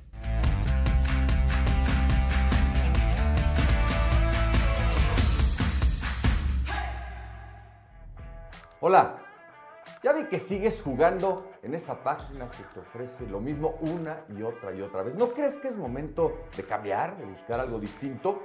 Yo, por ejemplo, apuesto en BetRegal. ¿Y sabes por qué? Es muy sencillo. Tienen el catálogo más amplio del mercado. Ofrecen los mejores precios en todos los momios. Y lo más importante, sobrino, pagan antes que nadie. Compruébalo tú mismo. En Casa de la Amistad sabemos que un diagnóstico de cáncer en un niño no es el final, sino el inicio de una lucha que vale la pena enfrentar. El cáncer es un enemigo común que tenemos que enfrentar y vencer todos. Por eso queremos invitarte a luchar con nosotros para que digamos, lo siento cáncer, estos niños se quedan aquí. Porque sí, en Casa de la Amistad, durante estos 30 años, hemos aprendido que hablar de cáncer es hablar de vida.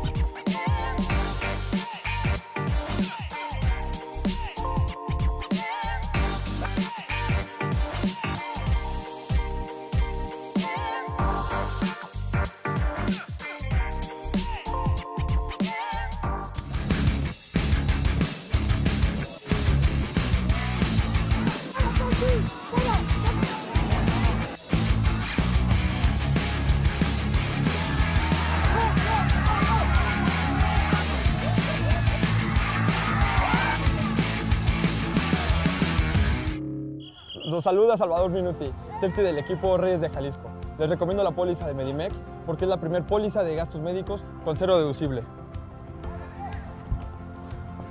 Porque yo ya me protejo con Medimex. Protégete.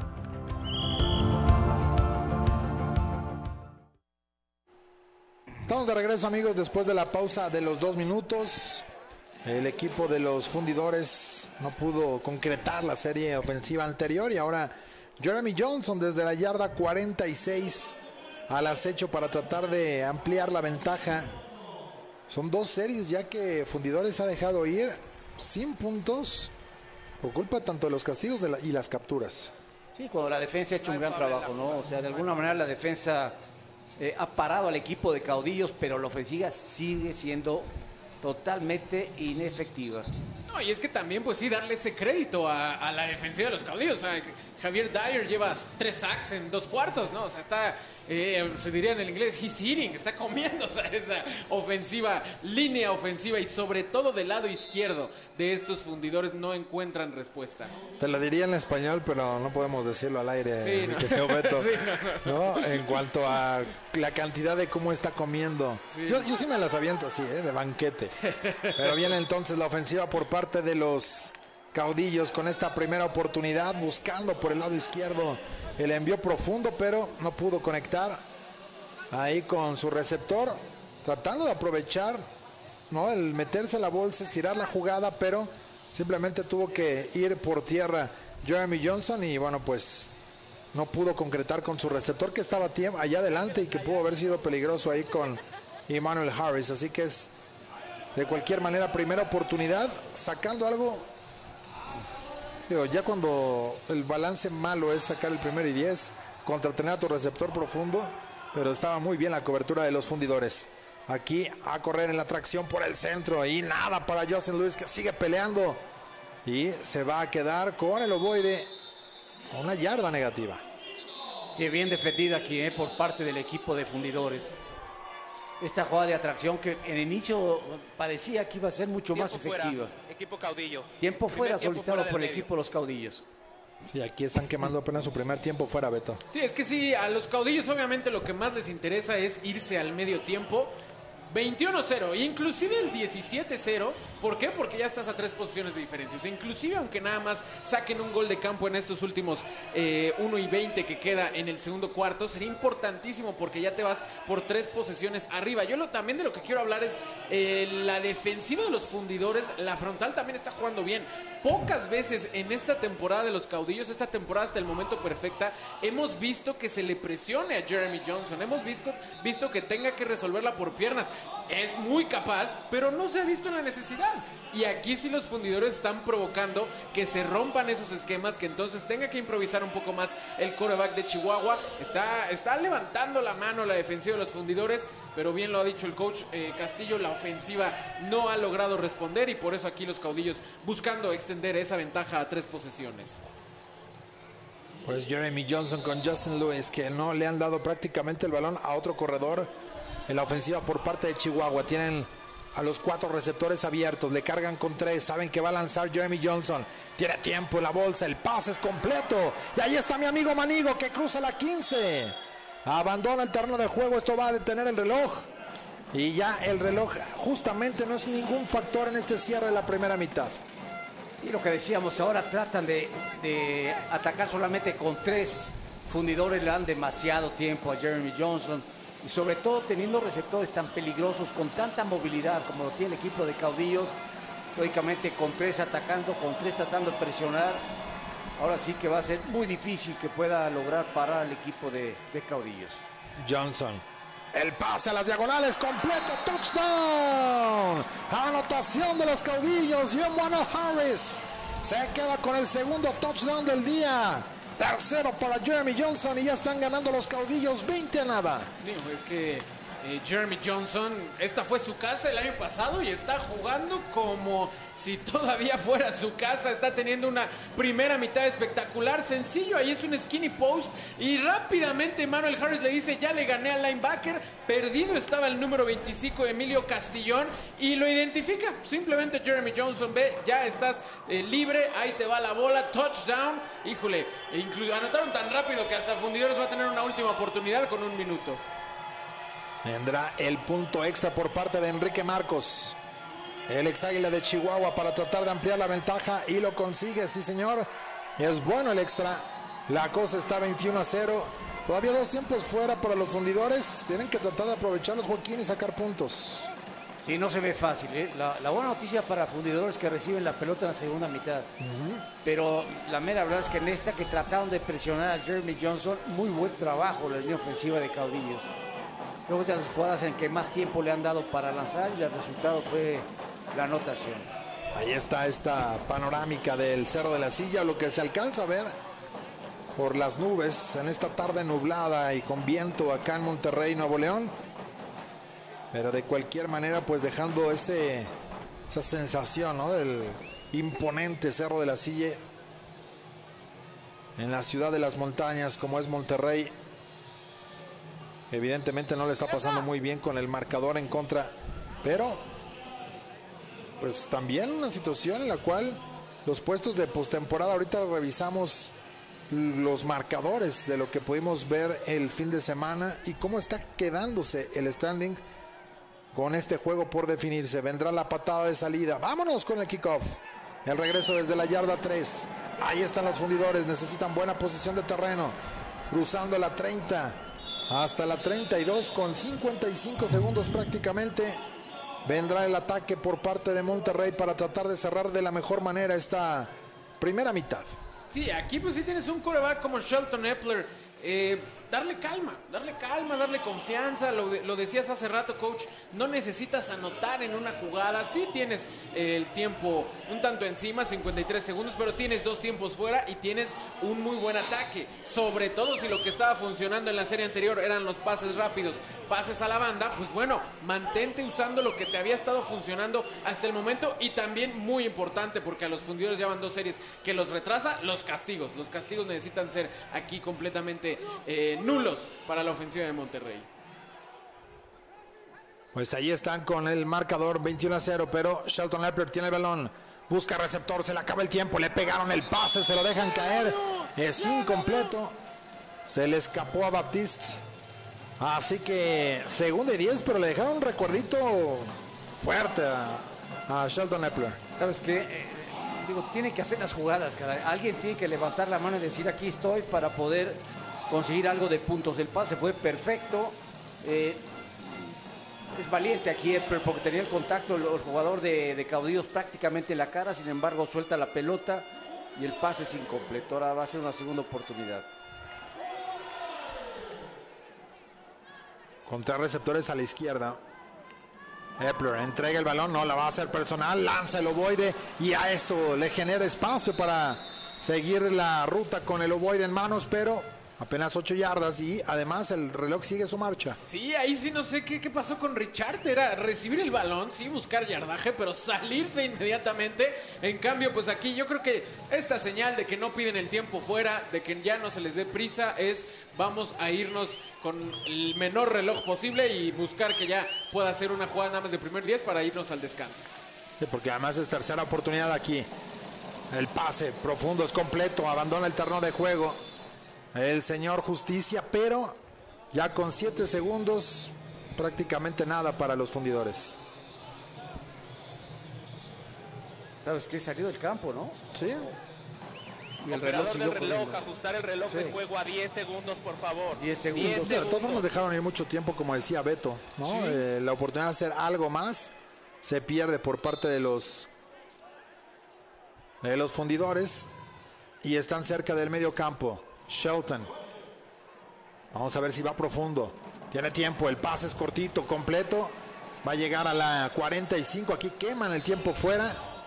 porque se iba el reloj o simplemente ya es irse al descanso después de la recepción de Oyer. Sí quemaron el tiempo fuera, Beto. Cuatro segundos yo creo que van a quedar, o sea, esta jugada entonces me habla de que van a buscar un Hail Mary, una, una última eh, jugada de pase para pues acomodarse. Hay tiempo fuera. Pero lo que decías, ¿no? El manejo del reloj, si hubiese salido. Richarte, hubieran tenido 20 segunditos más y al menos te, te acercas a, un rango de gol de campo. Si hubiera salido o si piden el tiempo fuera en ese momento, o sea, Ajá. cualquiera de los dos, ok, logran taclear a Richard dentro del campo, pero entonces ya también el staff no pide el tiempo fuera, caen como 25 segundos, consiguen el primero y 10 y ahí sí ya se sale Justice del campo, o sea, ahí perdieron dos jugadas, dos jugadas mínimo al no, no quemar ese tiempo fuera y Richard originalmente al no lograr salirse de- del campo. Si puedes cometer un error, Joaquín, pero no dos, ¿no? Sí, manejaron mal el tiempo aquí, ¿eh? definitivamente. O sea, si tenías los dos tiempos fuera, pues tienes que utilizarlos, caray, no sé para qué los quieres guardar. Y ahora, bueno, vamos a ver si, a ver qué van a hacer, Pues, un último Hail Mary. ¿no? a ver si la llega. Pues vamos sí. a ver si la llega. Está aquí en la yarda 45. 45. Yo creo que tiene la potencia Shelton Leper. El tema es Que le den que le den el tiempo, porque con esta frontal, ahí sí ellos pueden cargar con tres. De cualquier manera van a ir con cuatro, con Gleason, con Máximo, con Tavo y con todo el arsenal por parte de los caudillos. Y además un falso arranque. No, pues ya se van en cara. Ya con Oyer está desconcentrado el 39, equipo que estaba en el slot del lado derecho de y está en pantalla el número permanece 39 y esto les va a poner que también digo, tienen esto por regla les tendrían que quemar un tiempo fuera ya no sé cuánto les quede según yo ya no tienen tiempos fuera y si ese fuese el caso se les acabaría el reloj Beto porque no puedes cometer un castigo de colocación y te quita 10 segundos pero Yo creo que ya era el último. hacia atrás. Shelton comprando tiempo. Incómodo. ¿Con quién? Vamos a ver si sale el pase. Aguanta todavía. Se había perdido un jugador de caudillo. Suelta el pase profundo y es incompleto.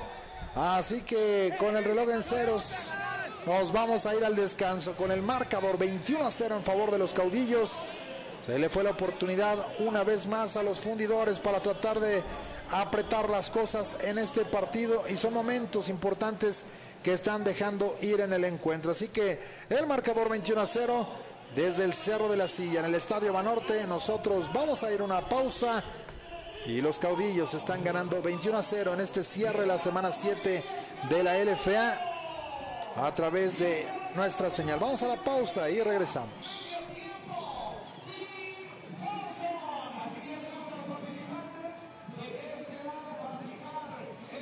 Los saluda Salvador Minuti, safety del equipo Reyes de Jalisco. Les recomiendo la póliza de Medimex porque es la primer póliza de gastos médicos con cero deducible. Porque yo ya me protejo con Medimex. Protégete.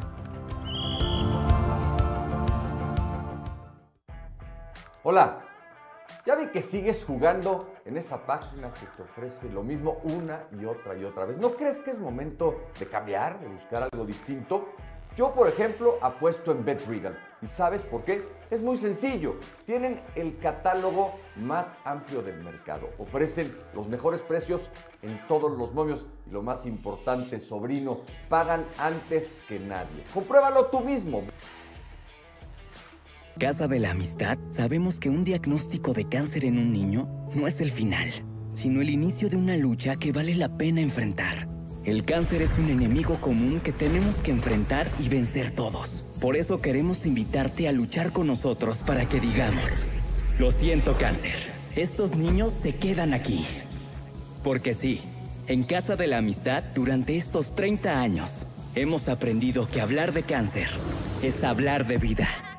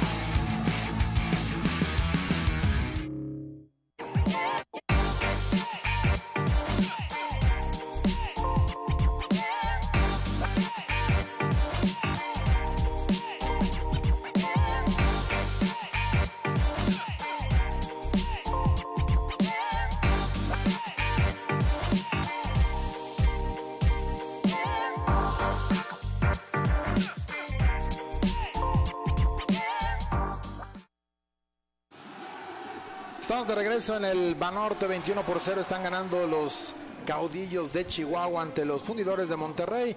Y vámonos con el resumen que nos tiene Bet Regal en esta primera mitad. Así salían al terreno de juego tanto los fundidores como los caudillos. En un juego en el cual pues los campeones estando en casa querían eh, poner las cosas en orden ante el último equipo invicto de esta campaña, pero todavía están ganando 21 por 0 en este partido. Así arrancaban las cosas con este envío de Jeremy Johnson para Juan Manigo, que aceleraba y cruzaba el medio campo, aunque se iba a quedar cerca y en la zona roja, pero esto te hablaba de la explosividad y de la potencia que tenía la ofensiva por parte de Caudillos. El envío profundo, flotadito, que era completo, ganándole a Javier García el duelo y con esto ponían los primeros seis puntos del partido. El extra iba a ser bueno por parte de Enrique Marcos después de esta recepción importante por, por parte de Marcus Hardy y así el juego se le iba complicando a la ofensiva de los fundidores. Sin embargo, Jeremy Johnson decía, no se preocupen, acá está el pase completo. Buen envío con el señor Martínez para poner el primer down. Había un castigo en un golpe que sacaba el partido a Javier García. Y aquí estaba el envío para Emmanuel Harris y ampliar la ventaja 14 a 0, jugándosela en cuarta oportunidad en la zona de gol. Y así los caudillos Beto estaban ampliando la ventaja sin problemas. 14 a 0 en esos momentos. Shelton Epler y la ofensiva de los fundidores tuvieron una buena serie que logró meterse hasta adentro de la yarda 40, pero vino este sack, el tercero de Javier, el número 7 de los caudillos. Ya no terminó. Javier Dyer ahí con la tercera. Intentaron este gol de campo.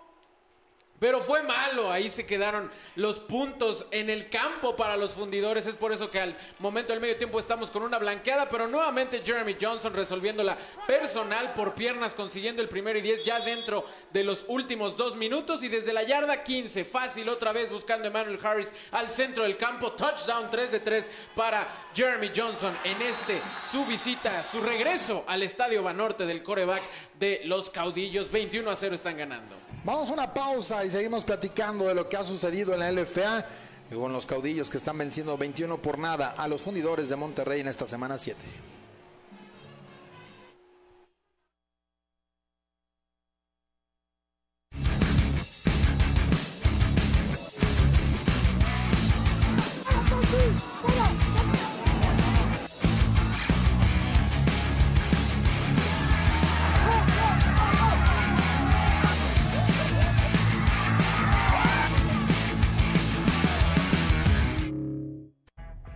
Hola, ya vi que sigues jugando en esa página que te ofrece lo mismo una y otra y otra vez. ¿No crees que es momento de cambiar, de buscar algo distinto? Yo, por ejemplo, apuesto en BetRegal. ¿Y sabes por qué? Es muy sencillo. Tienen el catálogo más amplio del mercado. Ofrecen los mejores precios en todos los momios. Y lo más importante, sobrino, pagan antes que nadie. Compruébalo tú mismo. Los saluda Salvador Minuti, safety del equipo Reyes de Jalisco. Les recomiendo la póliza de Medimex porque es la primer póliza de gastos médicos con cero deducible. Porque yo ya me protejo con Medimex. Protégete. En Casa de la Amistad sabemos que un diagnóstico de cáncer en un niño no es el final, sino el inicio de una lucha que vale la pena enfrentar. El cáncer es un enemigo común que tenemos que enfrentar y vencer todos. Por eso queremos invitarte a luchar con nosotros para que digamos, lo siento cáncer, estos niños se quedan aquí. Porque sí, en Casa de la Amistad durante estos 30 años hemos aprendido que hablar de cáncer es hablar de vida.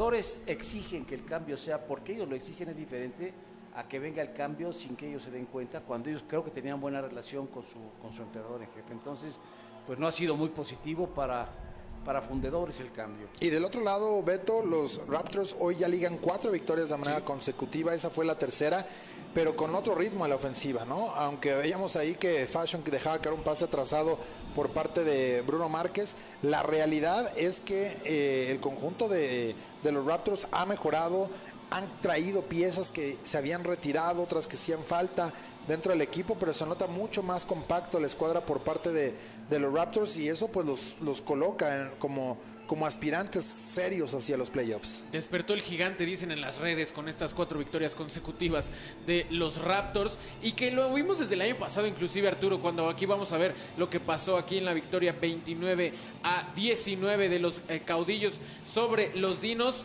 Eh, rápidamente para cerrar el comentario de los Raptors. El año pasado también pasó que al principio de la temporada ese ataque aéreo estaba todavía muy accidentado. Y es normal, es normal empezar a agarrar ritmo. Ya en el sexto, séptimo partido se están viendo muchísimo mejor. La semana pasada los caudillos recibieron a los Dinos de Saltillo. Increíble decir que 29 puntos es la segunda exhibición, la tercera exhibición más baja de puntos eh, de Chihuahua en lo que va de la temporada. Eso habla del nivel que tiene este ataque ofensivo. Los Dinos, la verdad es de que hicieron bien las cosas, pero sobre todo en ese cuarto cuarto, la defensiva estaba frenando, estaba frenando, estaba frenando, pero nunca vino ahí. Vean nada más ahí ese golpe que le dieron justamente al receptor. La defensiva también presionó. Jadarius Cesar, líder en sacks, y también aquí se quedó con ese touchdown. Pero los caudillos son un equipo muy completo. Ya sea si la ofensiva no está teniendo un día particularmente extravagante, pues los equipos especiales, este pase larguísimo con Marcus Hardy, que hoy ya también tiene otro touchdown. Entonces fue una victoria de las tres fases del balón para los caudillos allá en casa sobre los dinos. Sí, y le complicaron también la tarde a el señor Niño, ¿no? El quarterback de estos dinos que se había visto bien, evidentemente llegando con cuatro victorias, un descalabro a ese partido, pero los caudillos pusieron las cosas en orden y después de la victoria que tuvo Dinos de 33 a 10 ante los Galgos en casa, creo que recuperan la ventaja, también el triunfo que mencionamos, ¿no? Con el cuarto eh, W, la cuarta victoria que tuvo Raptors ya en esta semana 35 a 12 y lo que sucedió entre Reyes y Jefes, ¿no? Que Reyes tenía una gran ventaja, al final los Jefes apretaron el partido 32 a 28, eh, 35 a 28, perdón, fue el marcador final. Y lo que, que sorprendió Mexicas le pegó 18 a 3 a los Reds en la Ciudad de México, un duelo entre los dos equipos capitalinos, los dos equipos de rojo pero que eso pues claramente marcó una tendencia importante y ahora hay equipo con dos derrotas, al igual que eh, pues bueno, el equipo de los caudillos hasta el momento está invicto. ¿Qué es lo que les espera? Los mexicas van a recibir a los fundidores en el Jesús Palillo Martínez, mientras que los caudillos tienen en casa a los gallos negros de Querétaro. Vaya que va a ser una noche complicada para el equipo queretano, ¿eh? Se esperaría, ¿no? Pero pues ayer, la ayer en esta semana 7 se esperaría que iba a ser una tarde complicada para los mexicas y le ganan a los Reds. Entonces ahí los mexicas alzándose como uno de esos caballos negros en este cierre de la temporada regular, sobre todo si se mantiene este resultado de los fundidores que están cayendo en estos momentos 21 a 0, pues bueno, inclusive podríamos pensar que este mexicas fundidores sería ahí clave para ese sexto lugar en cara a los playoffs. Está complicado, pero todavía hay muchas combinaciones posibles. Pues vamos a otra pausa, regresamos ya con el inicio de esta segunda mitad entre fundidores y caudillos.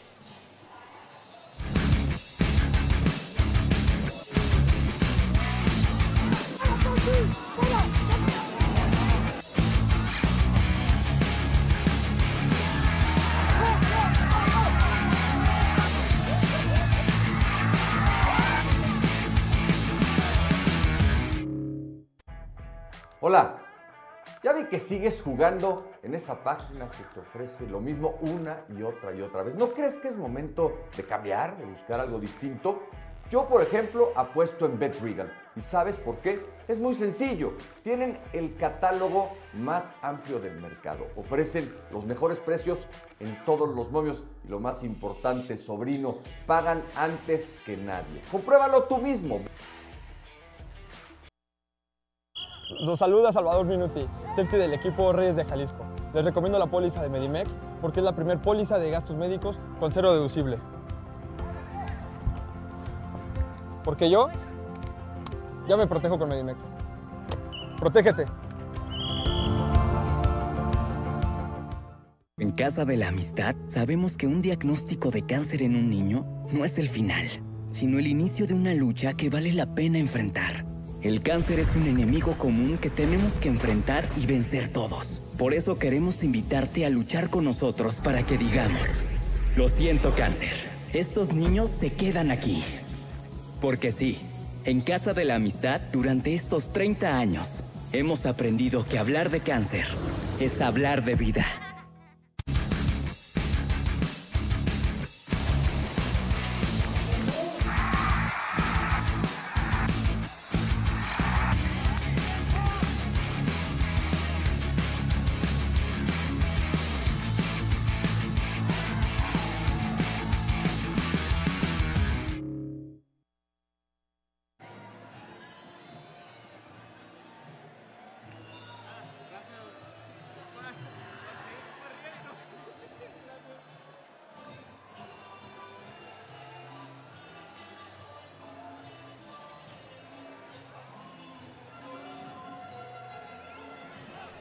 De regreso amigos en este partido entre los caudillos y los fundidores. Están ganando los de Chihuahua 21 por 0 ante Monterrey. Joaquín Castillo, ¿qué tiene que hacer fundidores para regresar en el partido? Porque la diferencia marca una tendencia que creo que no es la que hemos visto a lo largo del partido. Sin embargo, necesitas puntos para ganar el juego. Mira, yo, yo creo que lo que necesitan hacer insisto y, y lo repito, lo vengo repitiendo en el medio, es que la ofensiva mueva la pelota y además eh, que mantenga el poder de la pelota en ofensivas largas, o sea, para poder así tratar de hacer puntos y que el otro equipo por lo pronto esté fuera del terreno de juego. Es muy importante que en esta ofensiva, la primera, eh, consigan por lo menos, es que tres puntos ya no sirven para nada, cada uh -huh. estas alturas del partido creo que necesitan anotar touchdown. Entonces yo creo que eso es lo que tienen que hacer, porque a la defensiva yo veo muy complicado que puedan detener el ataque de los, de los caudillos. Sí, tratar de ralentizar y tú poner al acelerador a fondo para generar puntos en prácticamente cada una de las series ofensivas, porque si vas a permitir puntos, a lo mejor 10 todavía, pues necesitas tú generar prácticamente 4 o 5 touchdowns, así que no hay eh, marcha atrás para fundidores que necesita ser ahora sí probablemente más agresivo, ¿no? Lo que decía Joaquín, no necesitas anotar en cada jugada, pero ahora ya necesitas un, poco de esto y tal vez un poco de factor suerte, Beto, para eh, balones sueltos, algún pase interceptado, una jugada fortuita de la defensiva que inclusive si termina en puntos sería fantástico para, para la escuadra de los fundidores que cambie también el momento del juego. Sí, como dicen las porras en infantil, la defensiva también anota, pero es que cuatro series para los caudillos de Chihuahua en esta primera mitad, tres de ellas de touchdown y un único despeje. O sea, la eficiencia fue de 75% para la ofensiva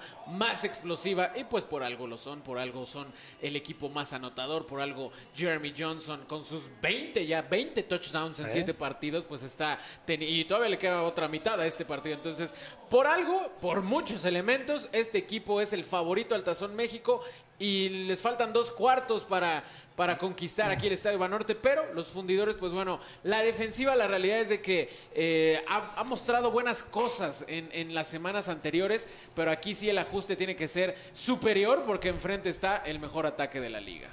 ¿Y qué tal la capacidad por parte de Josué López para atarse las agujetas con guantes? ¿eh? No es fácil, digo. ya viendo la destreza hasta en eso lo hace bien. Qué feos zapatos todavía. bueno, pues ahí están los muchachos ya preparándose, ajustándose el barbiquejo, el casco, los shoulders para estar listos y poder reiniciar este partido después de el medio tiempo. Unos caudillos que lo decías, Beto, parece que no les duele nada, ¿no? Sí. Y que obviamente teniendo un Tazón México en Chihuahua se perfilan, ellos quieren estar ahí, pero evidentemente pues todavía parte del proceso que van a tener que vivir porque después de lo que hemos visto a lo largo de la campaña, los juegos más difíciles, más allá de que estés hablando de los mejores equipos que están en playoffs, un despiste ahí y adiós, sí. adiós a la campaña, ¿eh? y como les pasó el año pasado. Y sobre todo, ¿sabes cuál es la cuestión? Todavía falta mucho. O sea, todavía faltan tres juegos de temporada regular. Y si vas a ser campeón, otros tres juegos. O sea, eh, bueno, si se ganan el descanso, ahí tendrían una semana. Pero de todos modos, cinco partidos. Es mucho todavía. Es mucho fútbol. Siempre pueden llegar lesiones. Siempre pueden llegar ahí las malas rachas. Eh, entonces, todavía falta bastante fútbol para poder coronar a ese campeón en el Estadio Olímpico de la Universidad Autónoma de Chihuahua pero definitivamente con este resultado que estamos al medio tiempo y sobre todo también con eh, la batalla por el número 2 ya wide open, abierta. Después de la derrota ayer de los Reds ya se abre un poco más ese panorama de quién va a pelear el número 2. En estos momentos, pues bueno, los caudillos amarrados en el número 1. Sí, yo lo veo, yo lo veo un equipo sin debilidades, que prácticamente es un equipo muy completo. Ahorita me decías, ¿qué puede hacer el equipo de, mm, de fundidores? Empieza a buscar por dónde atacar, qué debilidades tiene el otro equipo y muchas. Y yo no sé, mano, ¿qué le falta? ¿Le faltan los gallos a los caudillos? ¿Le faltan los gallos y quién más? O sea, yo no veo quién los pueda parar. ¿eh? Yo pensé que Fundidores era el único equipo que podría haberles dado una zancadilla. Ah, te platico de ello, porque la patada les quedó corta y viene el regreso por parte de los Fundidores hasta la 25, sigue peleando la 27 el regreso, pero el equipo de caudillos va a enfrentar después de los gallos negros le toca visitar a los Raptors, que no va a ser un juego sencillo. Y eh, finalmente les tocará el cierre contra los jefes en casa, que ese pues aparentemente puede ser fácil, pero Dependerá mucho también, porque inclusive amarrado el primer lugar en la siembra pueden descansar o tomárselo más tranquilo, aunque tienen una semana de bye después, ¿no? Amarrando la ronda de comodines, entonces tal vez no sea tan necesario, pero si no quieren arriesgar, vete una lesión, podrían sacrificar un poco en ese juego. Sí, ya no se ve para nada lejano ese 10 a 0 para los caudillos, pero primero tienen que cerrar aquí este encuentro en Monterrey. Bueno, pues tienen la primera oportunidad los fundidores, una, una serie importante acá para Monterrey, se van a quedar en la línea de golpeo, incluso una yarda atrás. Van a perder una yarda en la jugada acá los de Monterrey. Sería interesante saber cuántas yardas ha ganado McAllister el día de hoy. Nada. Creo ha sido un día complicado. Hemos tenido más nosotros acá en el palco de transmisión, Juaco. Sí. Hemos caminado más. Dos acarreos, cero yardas. Y ahora menos una después de este tercer acarreo. Segunda y once para los fundidores. Richard en movimiento. Cruza el terreno de juego. El pase es para él. El envío de Shelton Epler va a poner la primera oportunidad adelante de la yarda 40. Muevan las cadenas, ahí están los fundidores. Y ahí está, justamente esto fue lo que les dio eficiencia ofensiva en la primera mitad. Pases rápidos. Los caudillos confían tanto en su frontal que entonces los linebackers echan muchísimo para atrás y dejan esa zona de las 7, 8 yardas un tanto libre. Explotarla, explotarla, explotarla. Así fue como se metieron a esa, a esa serie en la que intentaron el gol de campo, pero terminó yéndose desviado. Epler con el pase es completo con, con Justice. Y va a llegar a otro primer down, así que consigue 10 yardas en la recepción, muevan las cadenas. Y es lo que se necesita justamente fundidores, pero además con este ritmo de 7, 8, 9, 10 yardas en adelante. O sea, nuevamente cobertura personal del lado izquierdo, había un receptor, había, estaba en la esquina, en la esquina estaba como a 10 yardas, lo atacan rápido, lógicamente consigue mover las cadenas. Fíjate qué tan lejos está, bueno, ahorita desgraciadamente ya no lo vimos, pero ve tan lejos está el hombre que lo está defendiendo allá. Sí, a 7, 8 yardas. Acá entrega la pelota y consigue una yardita. Así que recuperando algo de lo perdido en las estadísticas personales, pero ya revisando, este es el sexto acarreo, una yarda positiva para él en, el juego. Sí, no, por tierra no hay nada, nada, para estos fundidores. No es necesario, bien dicen esos analytics, ¿no? Que no es necesario correr solo con que hagas los engaños, con que hagas los play action, los RPOs. Pero también eh, ese colchón justamente habla de que los caudillos están siendo un poco más conservadores. Toma lo que la defensiva te está regalando. De acuerdo, y acá tienen tres receptores a la izquierda. El engaño que no prospera porque estaba muy lejos. McAllister, el pase es completo. Y en una muy buena recepción, aunque estaba solo, Marco Antonio Sosa consigue yardas importantes aquí para fundidores. Además, no necesitas correr la pelota, efectivamente. O sea, ¿por qué? Porque tu ofensiva se expresa también a que puedas aprovechar los receptores como corredores, pases cortos, pases seguros. Y, de alguna manera, pues controlas la pelota, controlas el reloj y vas avanzando. Aquí consiguieron la primera oportunidad los fundidores. Tienen gemelos a la derecha. Como bien mencionan, eh, Caudillos está permitiendo eso. Lo tiene que aprovechar aquí fundidores. Jugada gratis. No. Simplemente le van a dar las 5 yardas del contacto por parte del segundo defensiva, número 55. 5 yardas de castigo, primer down. de Devonte Ramser, que abandona el terreno de juego con sus 122 kilos con decepción. Sí, no, es que ya es parte de la identidad de los frontales. Son muy agresivos. O sea, en- y, sobre todo para un especialista en pass rush, ese primer paso siempre tiene que ser muy explosivo. Y es así como han estado dominando aquí a los frontales de los fundidores. Pero bien esta serie para Monterrey simplemente necesita terminar no solo en puntos, sino en las diagonales. De acuerdo, y acá con gemelos a la izquierda, el centro ligeramente alto, entrega el balón con McAllister que va a regresar y consigue las yardas necesarias para mover las cadenas y un poco más, fueron 10 en la jugada para el número 9 que apareció como un cohete después de lo que parecía perdido, ¡pum! taladrando la defensiva. sea la mejor jugada de carrera del, del equipo de fundidores eh, hasta el momento. O sea, corriendo por fuera no le había dado resultado, aquí en esta jugada sí. Y bueno, tienen que seguir por lo menos probando y preocupando a los frontales que pueden eh, correr la pelota. Con primera oportunidad en la zona roja. Importante esta serie, necesitan el touchdown y acá el pase es completo. Cruza la 10, la 5. Touchdown. Anotación de los fundidores de Monterrey. Apareciendo Oyer con la recepción. Y ahí están rompiendo el cero para poner las cosas 21 a 6. Sí, no, o sea, esta serie de pizarrón para los fundidores de Monterrey, eh, estableciendo ahí esos pases rápidos, dándole tiempo, esa jugada clave en la que consigue el primero y 10 para meterse dentro de la yarda 40 y en el pase que conectó con el número 84, Marco Sosa, o sea, le salió bien, terminan en las diagonales, cuatro primeros y 10 estuvieron en esta serie inaugural del tercer cuarto y ya nada más son 15 puntos y esperando que sean 14 con el punto extra. Pero exactamente esto es lo que necesitaba la ofensiva de Monterrey. Fue lo que mandó el doctor Castillo. Ya consiguieron el punto número uno que fue anotar en esta primera ofensiva. Vamos a ver cómo, cómo les va con lo demás. Sí, el extra es bueno, así que 21 a 7 está el marcador. Y respira la gente en Monterrey con entusiasmo para apoyar a su equipo y eso creo que es algo clave también, no dejar de apoyar a su escuadra. Y también, esto también puede marcar un poco la, la- el ritmo y sobre todo el cansancio, porque es cierto, ya se jugaron 30 minutos, podrías pensar que Fundidores sale maltratado, pero ya el aire en la segunda mitad y con series tan largas, te recuperas a la defensiva, no, no, Claro. pasa, no, no, no- no es tan crítico lo mal que pasaste la primera mitad como la segunda, ¿no? Con series tan largas. Sí, por supuesto.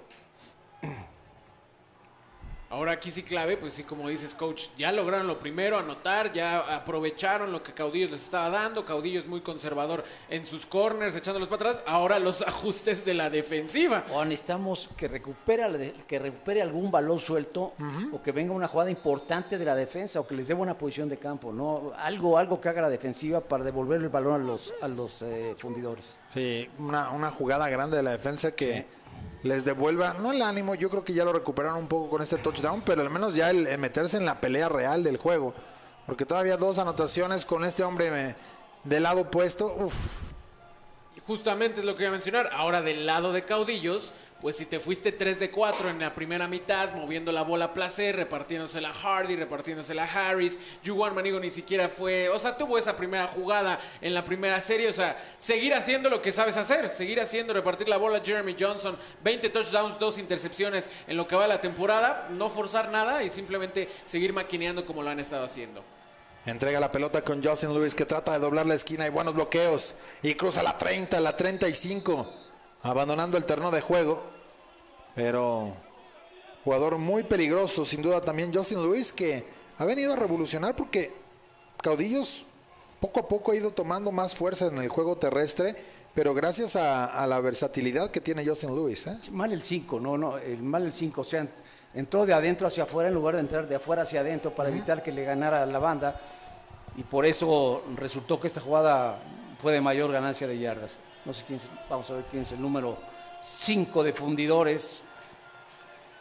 Hernández Delgado. Y acá con el pase rápido que es completo para mover las cadenas. Emmanuel Harris pone otro primer down en el terreno de juego. Y es que este es parte del, del veneno que te puede dar eh, caudillos. Lo vimos justamente en el juego contra los Dinos, ahorita en el resumen al medio tiempo. Dos pases de touchdown de más de 40 yardas. Y entonces aquí Fundidores justamente no está permitiendo eso. No están permitiendo que Harris o que Manigo se vayan a la profundidad. Pero entonces, ¿qué regalas? La zona de las 10 yardas. Y Jeremy Johnson la aprovecha perfectamente para el primer y 10. Primer down. Se la queda Jeremy Johnson después del engaño y es detenido. Ahí está la tacleada para pérdida de yardaje. Gran reacción por parte de Woods.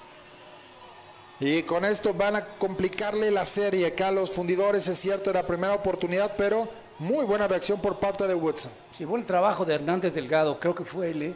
el que de inmediato cuando vio que Manigos iba hacia atrás, se va con él porque el pase iba dirigido a él. Sí. Y finalmente, un gran trabajo, o sea, la penetración que consigue el equipo de fundidores y hace perder yardas. Segunda oportunidad de largo yardaje para Caudillos. Este Beto sí es Xavier. Sí, Xavier sí, Lee. Xavier. Woodson. Y acá al aire, el pase completo no. Lo dejó caer. Iba a tener el primer down y entre tres defensivos la ventana se cerraba. Gran precisión de Jeremy Johnson, pero no pudo concretarlo. Y después queda tocado este jugador de fundidores. Es que sí, o sea, sí fue un pase complicado porque se lo pone para atrás, pero sí Jeremy Johnson no lo puede poner adelante porque si no es interceptado. Sí. Entonces, sí, sí. Sí tenía que ser ahí justamente atrás. Usualmente no es lo recomendado. Buscas ponérselo adelante al receptor, pero aquí sí era necesario ponerlo atrás. Y no se ve bien la lesión ahí en el hombro por parte del jugador de fundidores. Vamos a una pausa y regresamos a este duelo entre caudillos y fundidores. Los saluda Salvador Minuti, safety del equipo Reyes de Jalisco. Les recomiendo la póliza de Medimex porque es la primer póliza de gastos médicos con cero deducible. Porque yo ya me protejo con Medimex. Protégete.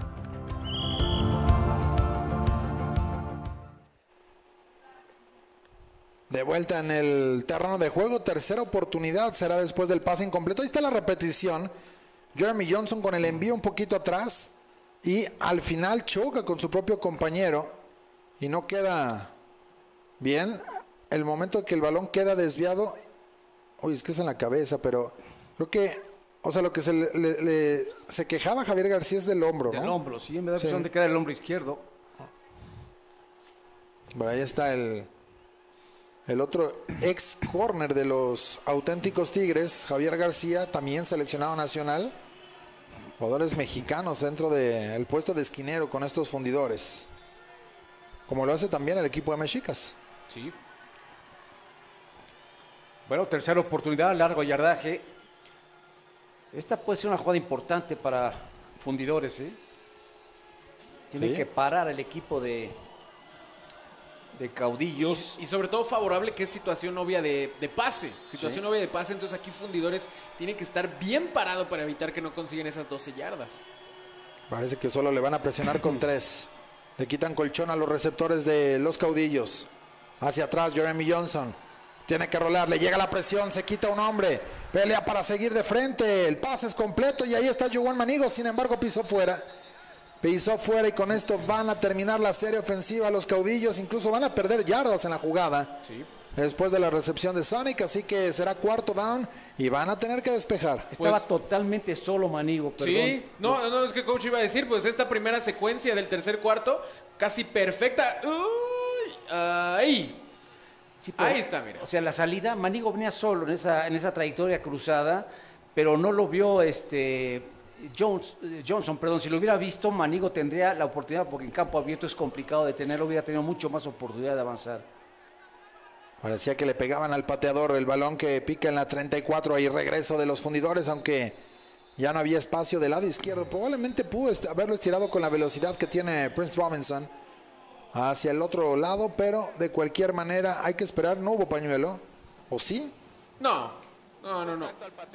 Contacto al pateador. Uf. Cinco yardas se repite la patada. Contacto más no foul personal, ¿no? Exactamente, o sea, se va a repetir, bueno, depende de lo que escojan ahí los, los, los caudillos, sí parece ser que se va a repetir la patada.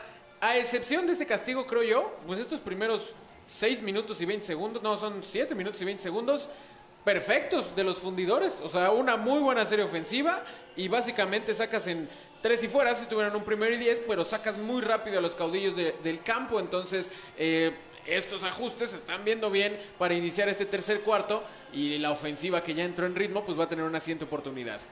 Cuarta oportunidad. Ahí está la patada por parte de Marcos. Y el regreso desde la 20. Atención porque ahí está Robinson. Tiene espacio cruzando la 30. Sigue de pie doblando la esquina. Ya está en medio campo. Voló un pañuelo. Y esto los va a echar atrás. Por ahí de la yarda 30. Sin embargo, muy buen regreso por parte de Robinson. Y pues va a quedar casi igual después con y sin castigo. Sí, buen regreso.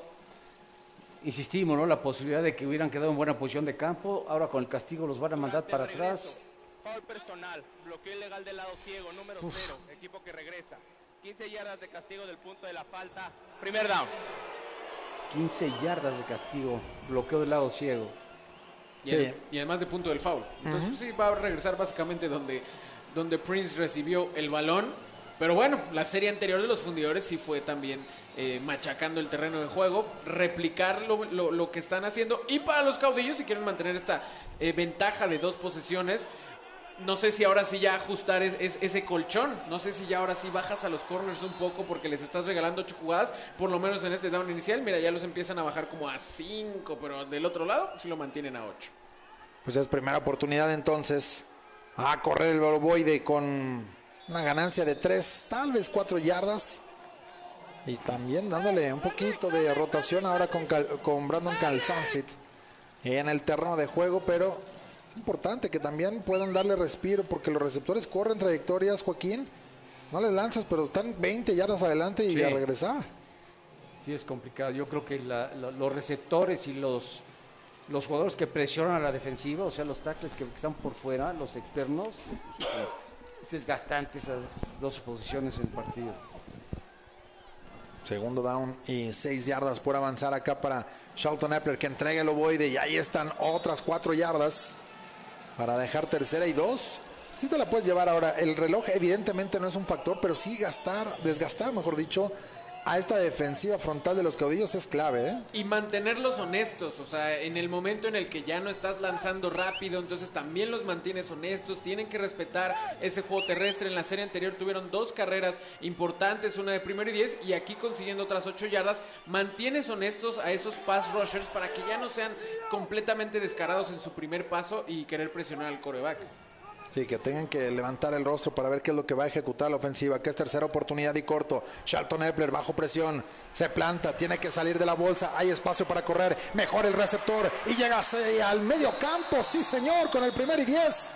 Tommy Oyer con la recepción, muevan las cadenas, primera oportunidad. Sí, gran jugada de Epler otra vez. Quitándose la presión, él trataba de salir del lado derecho.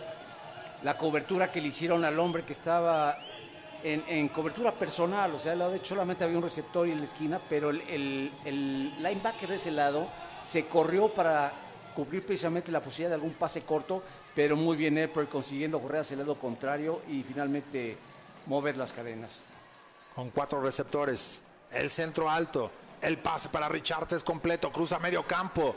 Y sigue de pie peleando. Van a conseguir unas siete yardas en la primera oportunidad. ¿Y qué ritmo están mostrando? Otra película de lo que vimos en la primera mitad. Sí, no, no, está completo. O sea, si esta, si esta serie termina en las diagonales para fundidores, estaríamos acercándonos a completamente espejo lo que vimos en caudillos en la primera mitad y fundidores en este inicio del tercer cuarto, ya cruzando la yarda 50 y sobre todo muy variada que está haciendo esta ofensiva. Sí, señor. Sí, quedando en segunda oportunidad, poco yardaje, o tercera oportunidad, poco yardaje. Ahí están cómodos los fundidores. Ponen en movimiento a Marco Antonio Sosa. Shelton Epler con el engaño. Tiene tiempo en la bolsa. El pase profundo. Está solo. Cruza la 20. En zona roja aterriza los fundidores. Otra vez apareciendo Tommy Oyer. Y con esto enciende el estadio Banorte la ofensiva de fundidores. Sí, otra vez buen pase. Buen pase, sobre todo aprovechando que, aquí lo vamos a ver, es el receptor, el, interno, el que salió exactamente buscando la banda, aprovechando que la esquina se fue con el profundo y no hubo nadie que lo cubriera. Buena, buena la, este, la, la lectura aquí de Epler. Y el bloqueo por parte de Brandon Calzonzi también le ayudó mucho a Shelton Appler para tener tiempo. Viene el pase, aguanta. El envío es cortito, completo en la trayectoria cruzada por parte de Sosa. Consigue apenas un par de yardas, cuando mucho. Pero lo importante es que sigue la ofensiva y el reloj también su marcha. ¿Sabes qué? Eso ahorita que mencionaste, Arturo, que ya están dejando a los corredores. En la serie anterior, McAllister tuvo un par de jugadas en las que se queda a bloquear. O sea, ya son 5 contra 4 o 5 contra 5. Le están ayudando a la línea ofensiva que tuvo una muy difícil primera mitad. En esa jugada anterior dejaron a Calzonce también para que, para que esté aritmética básica, para que estén en el mismo nivel de bloqueador y pass rush. Segunda y 11. Bajo presión, el pase es incompleto. Qué cerca estuvo también de haberlo interceptado. Torian Justice toca el balón, sin embargo atrás estaba atento, pero la reacción es un poco tardía para quedarse con ese balón. Es tercera oportunidad y 11 acá para los fundidores. Calzón sí te estaba totalmente solo. Cruzando la línea de golpeo, él hace el engaño, cruza la línea de golpeo y no había nadie que lo marcara. Se lo hubiera dado a él, hubiera conseguido el primero y 10. Pues importante la tercera oportunidad, aunque Creo que si hay cuarta oportunidad, los fundadores van a pensar en jugársela, aunque el gol de campo ahora ya le serviría. Con cuatro receptores, le cargan a Shelton Epler, el pase pantalla es incompleto. Le rebotó en el pecho a Brandon Calzonsit. Y la frustración tanto de la afición como de nosotros, Beto, acá porque decimos, estaba hecha la jugada. No sé si le pega en el pecho, si inclusive le llega a pegar a alguno de los hombres de línea. O Sí, sea, tráfico ahí. Exacto, sí, o sea, se- los propios linieros hicieron ahí una, una situación complicada para la recepción. Van a entrar con el gol de campo. Creo que, pues bueno, si ya estás encontrando la eficiencia ofensiva, entonces cada serie eh, es más bien, al menos aquí la, la filosofía es tomar los puntos, ¿no? Tomar los puntos. Pero también entonces le estás exigiendo a la defensiva otra vez, necesito que me regales una serie como la anterior en la que despeje los caudillos. El intento de gol de campo es bueno, así que se aprieta el partido 21 a 10. Ventaja de 11 para los caudillos con 3-0-8 por jugar en el tercer cuarto. Todavía están adelante con ventaja sólida los de Chihuahua, sin embargo son 10 puntos sin respuesta Joaquín. Y, y no se ve que, que estén tocados en el orgullo de los caudillos, como Sí, que no. están en cierta tranquilidad, en cierta paciencia. Sí, me da la impresión de que la ejecución del pase, yo creo que era un pase pantalla, porque estaban los dos lineros ofensivos enfrente, pero el corredor salió demasiado o lo dejó, lo dejó correr demasiado Epler. Y, por eso es que le, golpea a uno de los, de los jugadores de línea ofensiva, pero hubiera sido una muy buena jugada. Pero finalmente puntos son puntos y se colocan solamente a 11 puntos de diferencia. Y atención, porque ahí está Yuan Manigo, mi amigo, sí señor, que le debo unos chilaquiles ahora que venga a la Ciudad de México, rellenos. No me lo cree, y es su platillo favorito en México. Viene con el regreso Yuan. Y ahí está cruzando la 25 hasta la 30, sigue peleando. Ahí Atención porque esto es de peligro. Este hombre es peligroso. Cruza la 50, la 40. No va a esperar a nadie. Touchdown. Yuan, mi amigo Manigo, les pone seis puntos y así está callando el Estadio Banorte y los fundidores que estaban animados se llevan seis en contra. No, este es el tipo más explosivo, más dinámico y pues yo no sé si el favorito para ser el MVP de la temporada 2023 de la LFA. Regreso de touchdown de 105 yardas, lo mencionamos desde el principio de la transmisión. Vea, la reciben dentro de su end zone y la velocidad, sobre todo en el cambio de dirección, ahí completamente cambia hasta el otro lado de- de- del campo y absolutamente nadie va a estar disponible para hacer la tacleada. Este es el valor, por eso yo sí me animo a decir que es el jugador más valioso de la temporada hasta el momento, porque el valor que le da tu equipo, la ofensiva se está tomando unas par de series para recarburar, la defensiva ya permitió dos series muy buenas de los fundidores, pero en los equipos especiales, Yuan Manigo completamente cambia nuevamente el panorama del partido. A ver, yo no lo entiendo. El único safety que estaba ahí. O sacas la pelota de la zona de anotación o la tiras para un lado para evitar que la tome él. O sea, insisto, es el jugador más peligroso. Lo que no puedes hacer es darle la pelota en donde se la des adentro de la zona de anotación. Si la agarra, te va a hacer talco, te va a hacer pedazos o te puede conseguir esto, ¿no? Una anotación muy importante para Caudillos en este momento. Oye, pero que mi comadre le preste más la máscara porque se necesita un poquito más de oxígeno. No, no, Andaba no. hasta poniéndose pálido. Ya, ya, ya, estás, ya está acostumbrado, man, Sonic Manigo, a hacer estas jugadas de... ni si- es que ni siquiera son de 100 yardas, Arturo, son de 110. Y luego si le sumas que cruza todo el campo, no, son como 140, 150 Ah, yardas recorridas. muy cerca de taclearlo por el fuerte contacto que recibió, pegado a la banda izquierda. Sí, yo pensé que sí iba a salir. Sí, y aguanta el castigo, lo echan un poquito para atrás y, y eso no nada más es que te frenen, sino que recupérate en la fortaleza física, las piernas, para ponerle esa velocidad y le dio la vuelta a los tres jugadores de fundidores que estaban por el lado derecho en la perspectiva del ataque de Juan Manigo. Y aquí viene la patada de salida corta desde la yarda 10. Atención con Robinson que toma el balón y cruza a la yarda 40. Sigue peleando hasta la 45. Esto le ayuda aquí a los fundidores. Sí. Mala patada, ¿eh? O sea, es una patada que te Y además permite muy tendida. regresarla. La puede regresar bien y lo hicieron, o sea, buena posición de campo. Pero yo insisto, o sea, cuando me dijiste, oye, ¿qué harías tú? Pues no darle la pelota a Manigo, caray. Ajá. Ese era uno de los puntos que eran importantes para, para fundidores, pero bueno. Ahora, la patada, si me apuras, no es mala, ¿no? Larga, esquinada. El problema es que este, si, si la alcanza a fildear metiéndose casi o saliéndose del terreno, es decir, en la, ciento, en la menos 10, menos 11, ahí te la toma y pum, le pone la velocidad y Pero yo, bueno, esos pateadores yo creo que la pueden sacar del campo, normalmente lo han hecho. Esa sería la, la encomienda. Y ahí está Shelton Epler con cuatro receptores. Va a lanzar rápido. El pase es completo con Richard. Te consigue quedarse con el balón para seis yardas del número 6. Sí, nuevamente entonces, no desesperarse, o sea, lo que le estaba funcionando a los fundidores eran estos pases rápidos, ya también eh, por tierra, sí tuvieron ahí la jugada grande con su ala cerrada, el, el autor del touchdown, eh, Auger, entonces... Pues a pesar del touchdown de Manigo, seguir en esa misma tónica que les dio muchísimo éxito en este tercer cuarto. Ajá.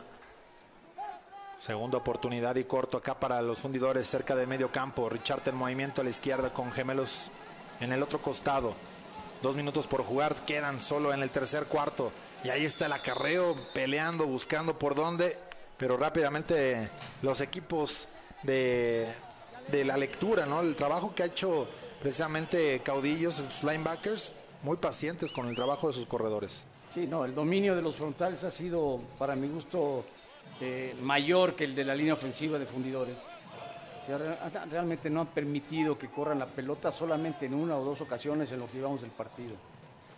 Tercer down entonces, cinco por avanzar acá para Monterrey.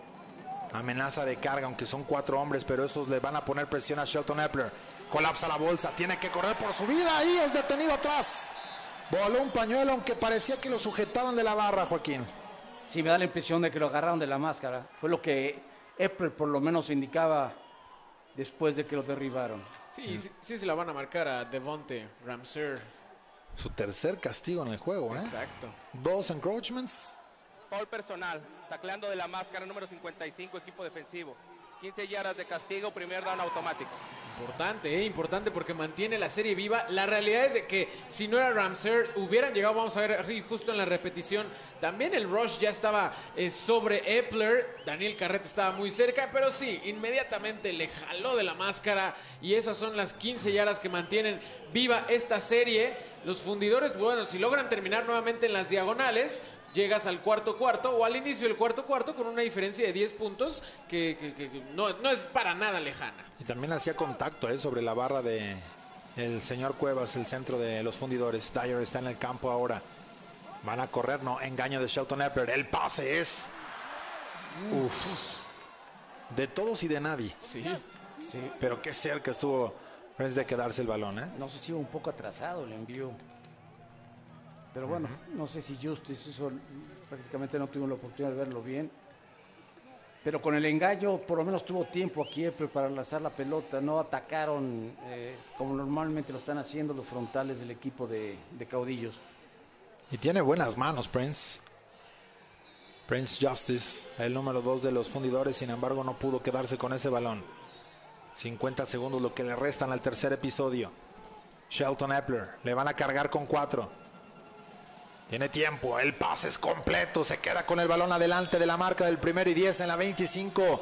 Muevan las cadenas, primero y 10. Sí, no, otra vez. Sobre todo aquí, sí, por ejemplo, si hablamos de la difícil eh, primera mitad que tuvo la línea ofensiva, aquí le dan mucho tiempo. Vean nada más la cantidad de tiempo. Los caudillos hicieron cruces de sus internos, mandándolos como externos y que los externos hicieran esos huecos de adentro. Y tuvo todo el tiempo del mundo Shelton Epler. Aquí vamos a ver cuál es la marcación. Creo que la van a desafiar los caudillos, ¿eh? La marcación en el campo es un pase completo. La jugada anterior está siendo desafiada por el equipo de caudillos. Si yo no vi que se le cayera. Es más, iba yo a comentar que eh, muy bien, eh, o sea, mentalmente el jugador está, está pensando en dónde está la punta de la cadena. Ahí hizo su corte y ahí fue donde lanzó la pelota Epler. Vamos a ver qué nos dice el oficial. Oye, ¿cómo ha sido, Juaco, la batalla? Ve el jersey Sí. de Gleason, el 91. Bueno, ya más le queda, creo que como Hugo Sánchez. Sí, no, no, no, no, ya. Ese jersey. Y el de Shelton Epler está igual, o sea, sí, desde hace rato, desde la primera mitad. es que esta ha sido una auténtica batalla campal, ¿eh? Ahí está la repetición, se queda con el ovoide en dos tiempos, pero creo que las manos van por debajo del ovoide. Esta toma nos va a ayudar mucho porque toma el balón en dos tiempos y las manos siempre están por debajo, es decir, siempre tiene el, el ovoide cubriendo, las manos cubriendo el ovoide. No, y recordar que inclusive si toca el césped, si no pierde el control, eh, es una recepción. O sea, Sí. si, si, inclusive si llega a tocar una parte del balón el campo, pues ahí Torrin Justice la asegura. En el momento en el que llega a sus manos, asegura el balón. Entonces, creo que esto debería ser recepción ya de manera irrefutable. Va a ser primero y 10 dentro de la yarda 25 para fundidores. Eh, sobre todo también el, el pase es rapidísimo. El mérito de Justice para quedarse con ese balón y asegurarlo. Qué bien el trabajo de los bloqueos de la línea ofensiva, cómo se van repartiendo. Vega, Eh, Vega Ruiz ha tenido una chamba complicada, caray. porque Sí. está, está- está tratando de. Él es el que está el tackle derecho. Y normalmente por ese lado está atacando o ataca Carrete o ataca también este Dyer. O, Y vemos por allá a Jorge Revuelto, el Rebel, que fue un gran safety en el fútbol americano. Parece que la van a revertir, ¿eh? sí, ya lo están echando para atrás. por la reacción de. Después de la jugadores. revisión, la marcación en campo es cambiada. Pase incompleto. Tercer down.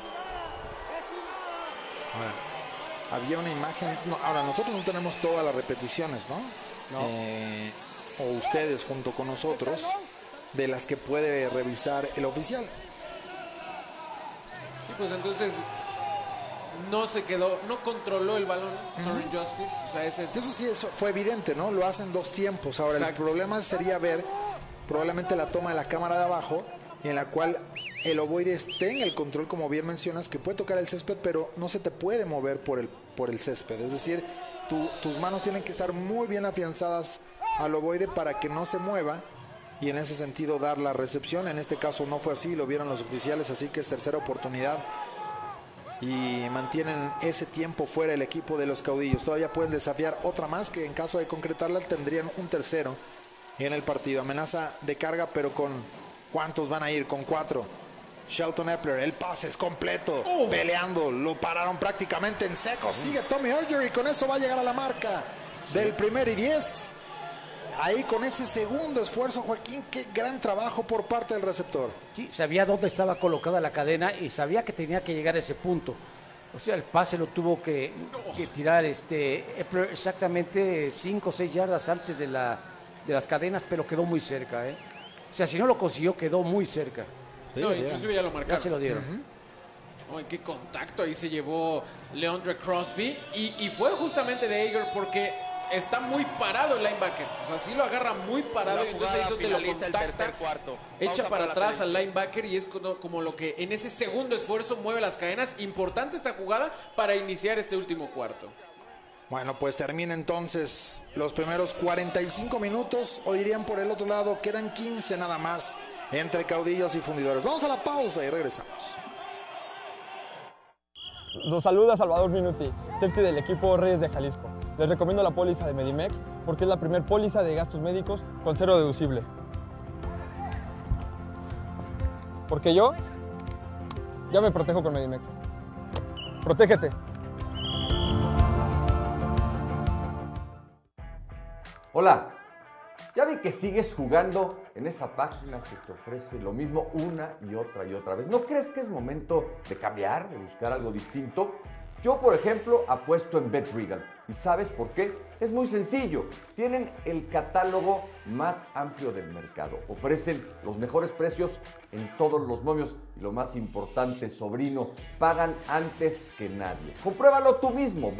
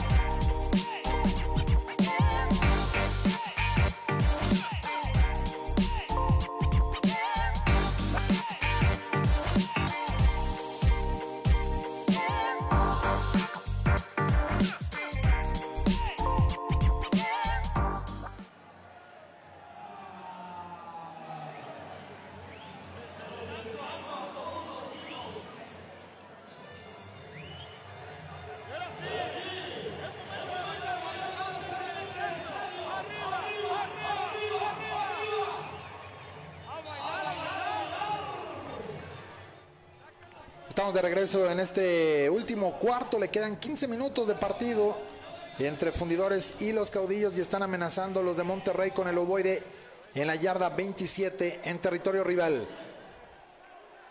Con Sheldon Epler colocando gemelos a la derecha. Un corredor atrás, debajo del centro. Y ahora con Prince Justice. No, le dejó la bola a Robinson que cruza la 20, la 15. Y pone primero y 10 la ofensiva de fundidores entre Prince Robinson y también, por supuesto, eh, Torin Justice han hecho una muy buena labor en esta segunda mitad. ¿eh? Sí, buena jugada, ¿eh? Además se colocan de inmediato. Y con la ofensiva up tempo. Y acá está Robinson. Jugada reversible. ¿A quién le va a lanzar? Mejor la va a correr. Busca por el centro. El corte cruzando la 10. Parecía que le iba a tirar la Fundi Special o cuál es esta? Exactamente, este, este es la, la Monterrey Special, la, la especial de Monterrey, porque sí buscaban justamente a Shelton Epler. Inclusive el propio coreback vio, no sabes qué, si están muy bien parados, no me la lances, porque sí, los caudillos ya la identificaron de manera inmediata, pero lo logra resolver bastante bien ahí Torrin Justice para poner una segunda y seis.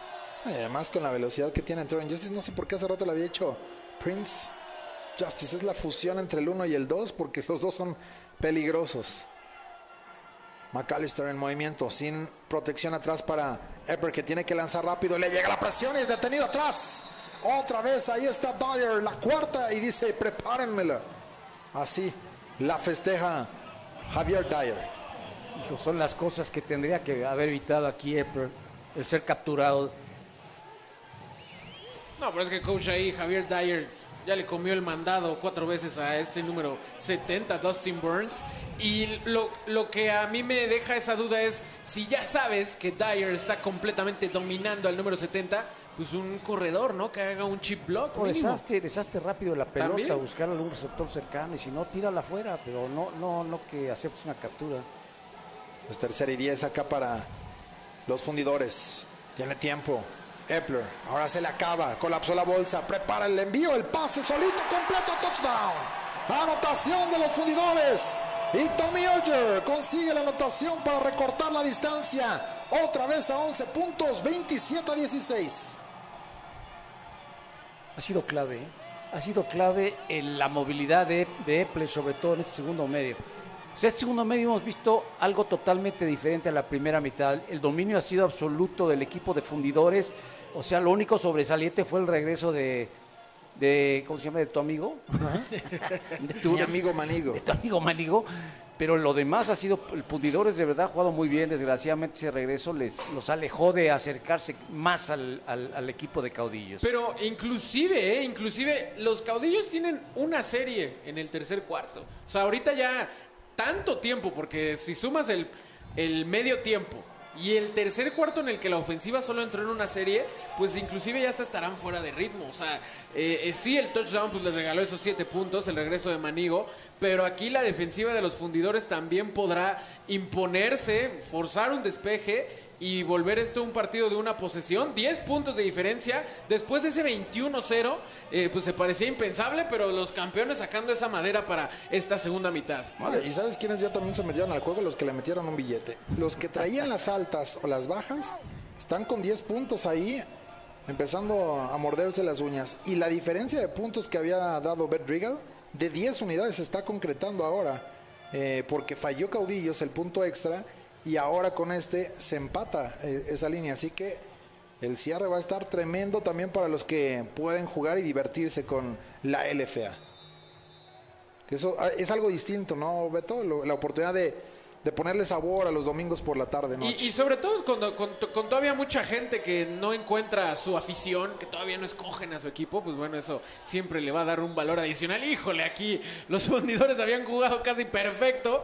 Y pues, coach, te hicieron caso de no patearle a, a, a Yuan Manigo, ¿no? O sea, Sí, pero no la saques el campo. es que está difícil porque es el único fielder. Sí. Sí. Ahora, ¿dó- ¿dónde la pones?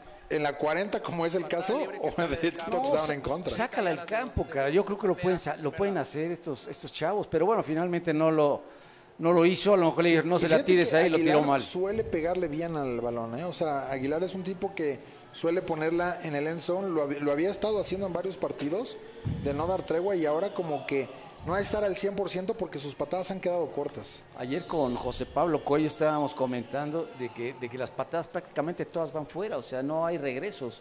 Y sin embargo, aquí hemos visto ya varios regresos de todos.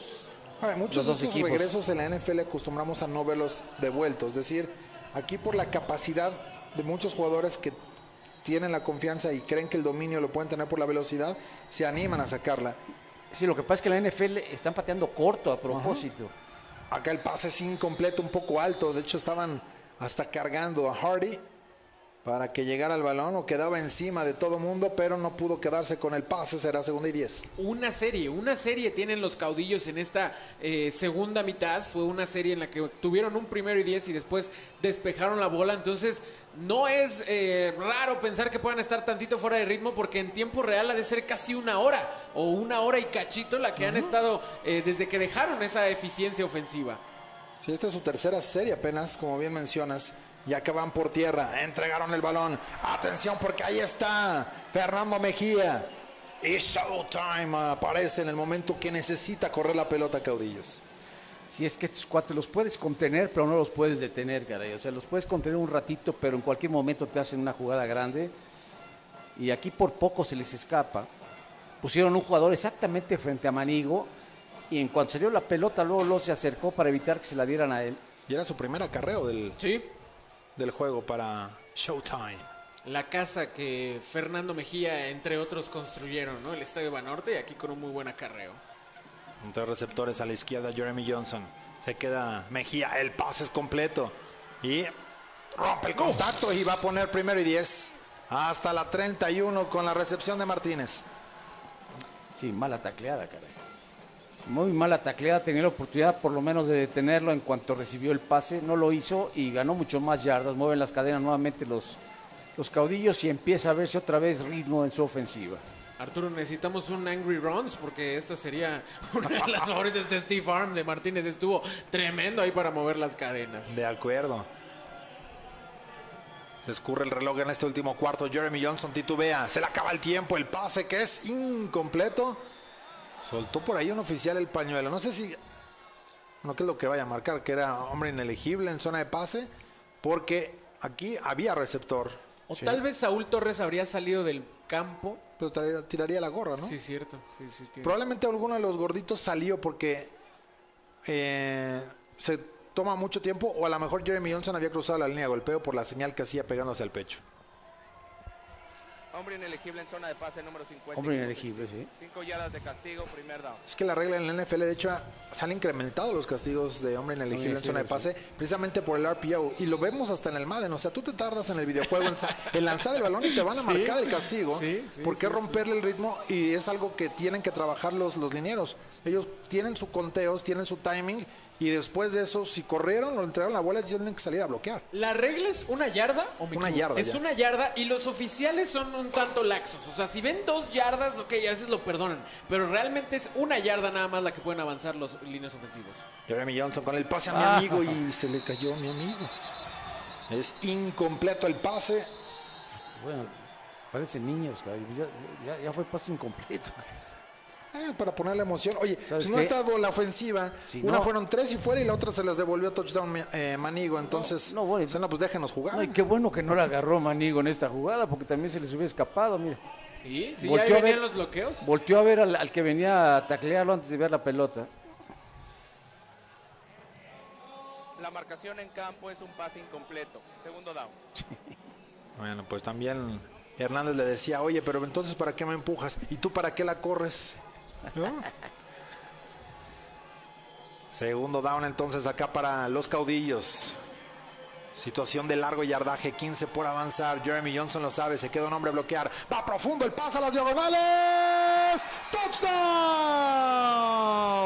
Anotación de los caudillos. Y Juan Manigo les dice, aquí estoy presente. Seis puntos más para la causa de los caudillos. A ver, ¿qué tienes que hacer? ¿Qué tienes que hacer para poder tener la ofensiva? Primero, presionar a, Jeremy Johnson, cosa que no hicieron porque atacaron solamente con tres y dejaron ahí un vigilante que ni atacó ni, ni cubrió nada. Y además, permites que, este- digo, con eso permites que- que el jugador más peligroso que tienen, que es Manigo, pueda desmarcarse en cualquier momento, que es muy fácil para un jugador tan elusivo como él, y conseguir la anotación. Además, solo. Ve, ve la distancia que estaba al hombre que lo estaba marcando. Número 18, sí, sí, traía unas 6 yardas ahí de, de atraso en comparación con Manigo.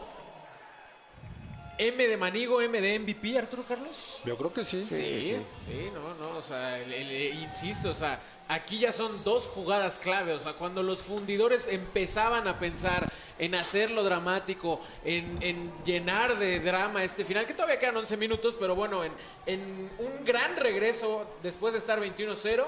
El regreso de kickoff de 105 yardas del número 13 y aquí el pase de touchdown de 40, pues bueno, el número 13 de los caudillos en un equipo lleno de talento, en un equipo eh, que tú lo has dicho, dicho, coach Castillo, que parece no tener ninguna debilidad, pues bueno, es indiscutible. El talento es indiscutible, el impacto que tiene Juwan Sonic Manigo para este equipo de caudillos. Sí, por eso al principio del juego te decía yo, ¿quién, quién va a marcar a, a Manigo o cómo lo van a marcar? Zonas, personal, no sé.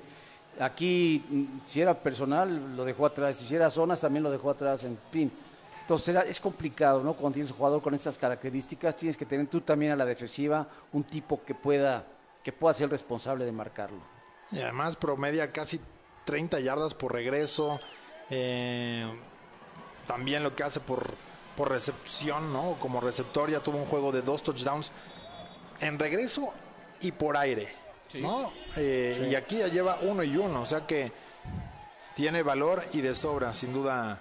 Ahora, lo que está haciendo también Jeremy Johnson en la precisión, Sí, no sí. tanto en los- el tema de los pases completos, pero su efectividad, o sea, dos pases interceptados por más ya de 20 touchdowns, wow. Sí, un ratio de 21 a 2, sí, también, o sea, no, no, no sería descabellado pensar que, que- pues, también merece su crédito ahí entre los votantes al MVP, pero se van a dividir ahí como siempre pasa mucho con, con el Heisman, que se van a dividir los votos entre coreback y receptor, pero yo creo que hoy el favorito debe ser el número 13, aunque sí, el mérito también al número 6, Jeremy Johnson, porque es un gran líder de esta ofensiva. Pues que nos diga la gente a través de YouTube y de Facebook que puedan escribirnos de la LFA con quién se quedan. Al aire, el pase es completo. Tratando de romper el contacto, de escurrirse entre dos defensivos, pero consigue unas 7 yardas por ahí. El señor eh, Justice. Sí, es lo que tienen que hacer, lo están haciendo y, bueno, desgraciadamente dos jugadas, eh, dos jugadas grandes han dado al traste con lo que venía haciendo el equipo de fundidores en la segunda mitad, ¿no?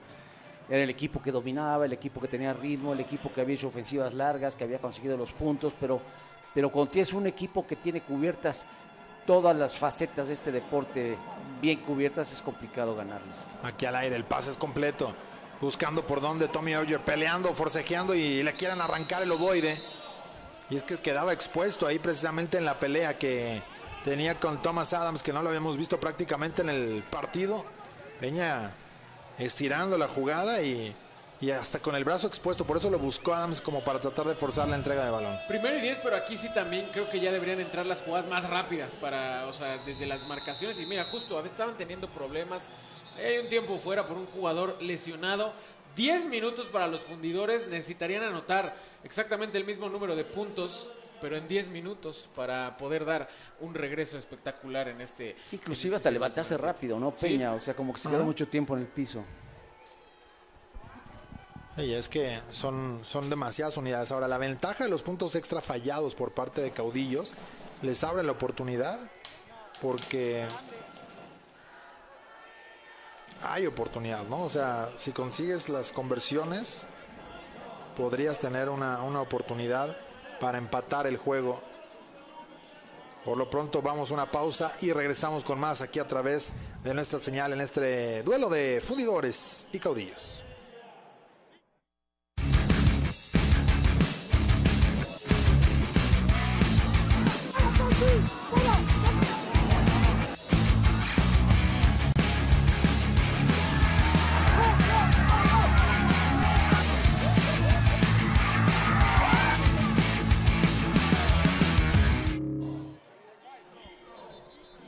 De vuelta después del abandono de Thomas Adams, el linebacker de los caudillos que quedó tocado después de estar forcejeando el ovoide con Peña.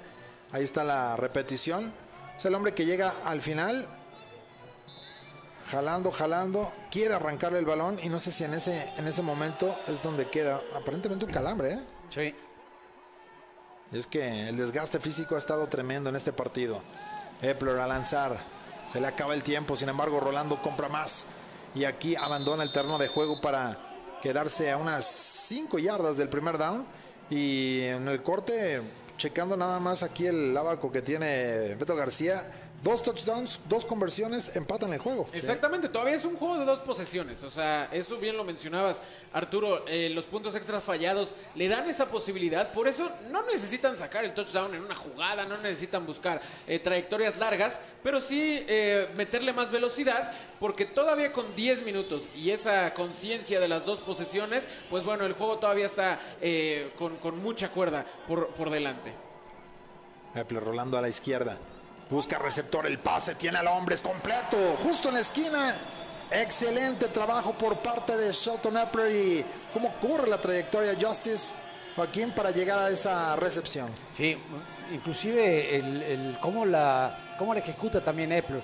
Es muy complicado correr hacia el lado izquierdo siendo derecho y poder moverte, cambiar, o sea, voltear la cadera y los hombros, colocar los paralelos, pero fíjate cómo hace bien el movimiento y puede lanzar este pase a más de 20 yardas, que es lo más complicado. Eh, buen trabajo del Tejano. Aquí el pase es cortito para un par de yardas. El reloj sigue su marcha.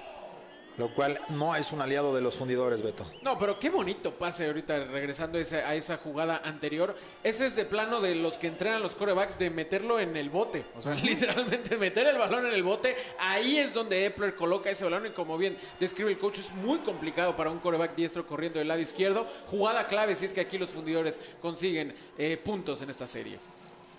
Y Batiste que ya no pudo regresar después de la lesión en la primera mitad. Aguanta Epler. El pase es completo con McAllister. Atención porque tiene bloqueo. Se va a quedar con el balón suelto. ¡Fumble! ¡Ay, balón suelto! Pero dice el oficial que se lo quedó. El jugador de los fundidores. Sí, qué suerte. ¿eh? Le estaban metiendo la mano a los caudillos ese balón, ¿eh? Es que sí, le rebota, o sea, le- se le sale a McAllister y él mismo la logra recuperar. Aquí vamos a ver. Esta es la pantallita que intentaron en la serie anterior y que no le salió ahí porque hubo, mira, uy, le rebota ahí, ahí mismo a McAllister. Sí. Es tercera y uno acá para los fundidores. Hay un jugador lesionado de caudillos. Y ya están trabajando el cuerpo médico con él.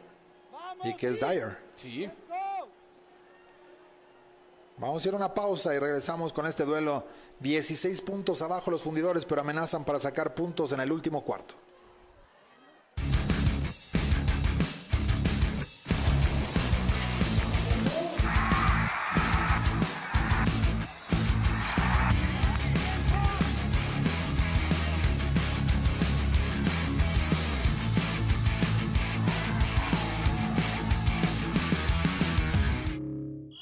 Los saluda Salvador Minuti, safety del equipo Reyes de Jalisco. Les recomiendo la póliza de Medimex porque es la primer póliza de gastos médicos con cero deducible.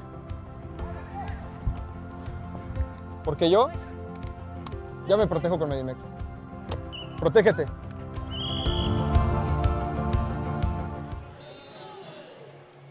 Los fundidores al ataque en tercera oportunidad, una por avanzar.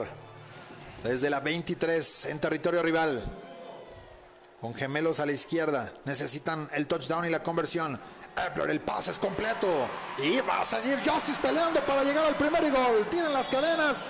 Están tocando la puerta los fundidores. Y otra vez ahí parecía que se le salía la bola a Justice, el receptor, pero poniéndolo muy interesante aquí los fundidores saben, saben que eso que mencionamos, que un touchdown y una conversión de dos puntos reduce la diferencia nada más a una posesión. Se está viendo muy bien, sobre todo quiero reconocer el, el corazón de este equipo campeón defensor. No se han dejado matar, no se han dejado hundir por los caudillos que son el invicto equipo perfecto. Aquí los fundidores se aferran, se, afe- se aferran a poder lograr un regreso. Gran trabajo eh, de la línea ofensiva aquí.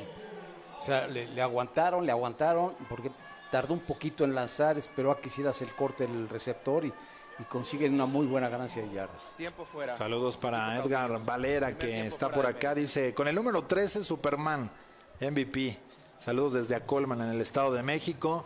Y contentos con Joaquín Castillo en la transmisión. Diría Rodríguez también diciendo que es un gran partido. Ismael Leal por acá apoyando a los caudillos. Dice, a terminar la temporada con marca perfecta. Escríbanos como Javier Hernández. No el chicharito, eh, no, te, no te emociones. Apoyando al equipo de Monterrey, Ángel Mora. eh, y bueno, un montón de gente que está por acá en esta transmisión. Muchas, muchas gracias a todos los que se reportan a través de las diversas plataformas de la LFA. Que síganos, arroba LFAMEX, a través de Twitter, de Instagram.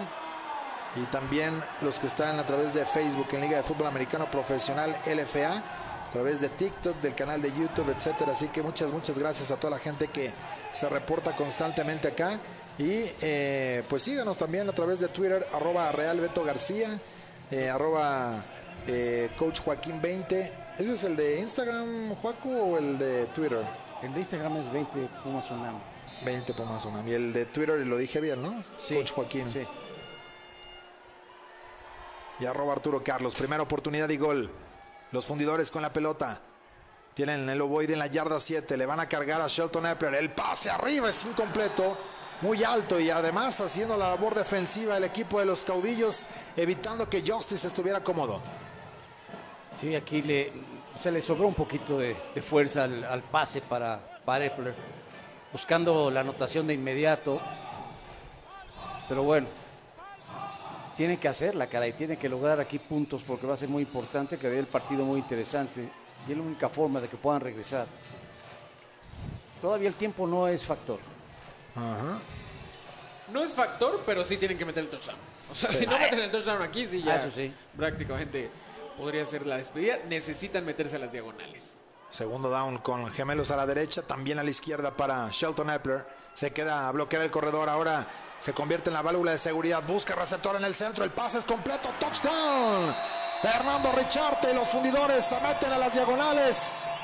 Y le ponen seis puntos más a la cuenta. 33 a 23. Se aprieta el partido y aquí van a buscar la conversión de dos puntos. Bonita jugada de Shelton Epler, nuevamente lo has estado mencionando, coach. Su, improvisación en este partido contra Caudillos ha sido muy importante, pero sobre todo es salir de la bolsa y mantenerse con los ojos hacia el frente. Yo, por ejemplo, vi a, alcancé a ver a Torrent Justice, estaba complicado porque estaba hasta atrás de, la, de las diagonales. Y no, Epler muy tranquilito, ve a Richarte, una jugada sencilla, touchdown y van por los obligados dos puntos en esta jugada. Si la fallan, se van a meter en problemas aquí los fundidores. Formación y con dos receptores. Uno está en movimiento para tratar de ayudar a bloquear. Van a ir con el poder. Ya voló un pañuelo. El pase, flotaditos completo. Y están en el partido. La recepción de Tommy Oger. Pero hay que esperar la indicación del castigo. Sí, de las pocas veces se coloca el coreback atrás del centro. ¿eh? equipo defensivo número 11. Es en contra de la defensiva. Así es que esa anotación, y como decía yo, rara vez se pone atrás del centro, caray, en el fútbol en la actualidad, sobre todo, bueno, el colegial ni hablar, pero aquí también lo han hecho con mucha frecuencia, solamente juegan en abierta. Aquí se coloca atrás del centro y de ahí sale la jugada para encontrar solo al, al receptor. Y interesante se pone el juego, mi querido Arturo y Beto.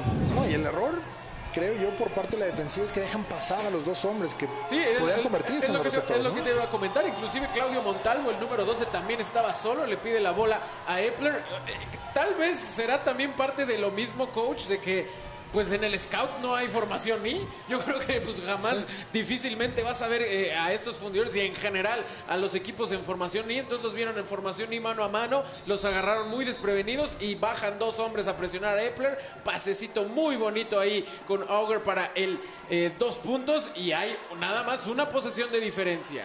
Y ahí viene Yuan Manigo con el ovoide en sus manos, tratando de acelerar, de ser paciente por donde y ahora sí logran acorralarlo para que no haya regreso por parte de los caudillos. Los que fueron con las altas en este juego ya cobraron, se hicieron los totales de más de 54 puntos, la línea más alta en la historia de la LFA. Ahora sí, buena cobertura por parte del equipo especial de los fundidores. No sé, la, verdad es que es complicado, ¿no? Decir que cómo deben de patear para evitar que Manigo la, la tenga. Yo creo que la otra es esa, ¿no? Que la patada sea muy elevada para darle oportunidad a la, cobertura que llegue a tiempo y no le permita este, buscar el hueco como lo hace, porque es un jugador que, que es demasiado elusivo. Se, se mueve igual lateralmente que para atrás, que para adelante. Primera oportunidad para Jeremy Johnson y los caudillos. Encerrados en su terreno, el pase es completo.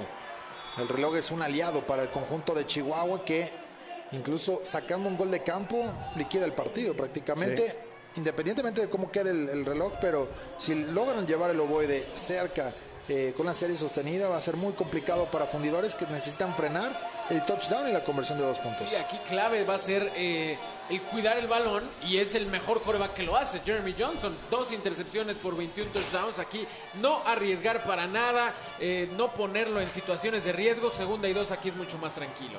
Van a correr la pelota y no hay nada para Justin Lewis rebotado por parte de la defensiva. Qué gran trabajo de la frontal aquí y aprovechando también la visita del safety que bajó el terreno. Ahora, realmente han, han contenido a la, la ofensiva terrestre el equipo de, de- de caudillos, ¿eh? o sea, no les, no les han dado mucha, mucha oportunidad. Más bien ha sido las jugadas de, de Jeremy Johnson con, con sus receptores, en particular con Manigo. Esta es jugada clave, por eso toda la gente en Monterrey está en sus pies. Van a correr y le entregan a Mejía y el ovoide no va a llegar a la marca del primer y 10, será cuarta oportunidad. Y esto es tres y fuera para Caudillo, se van a quedar a media yarda después del esfuerzo de Fernando Mejía.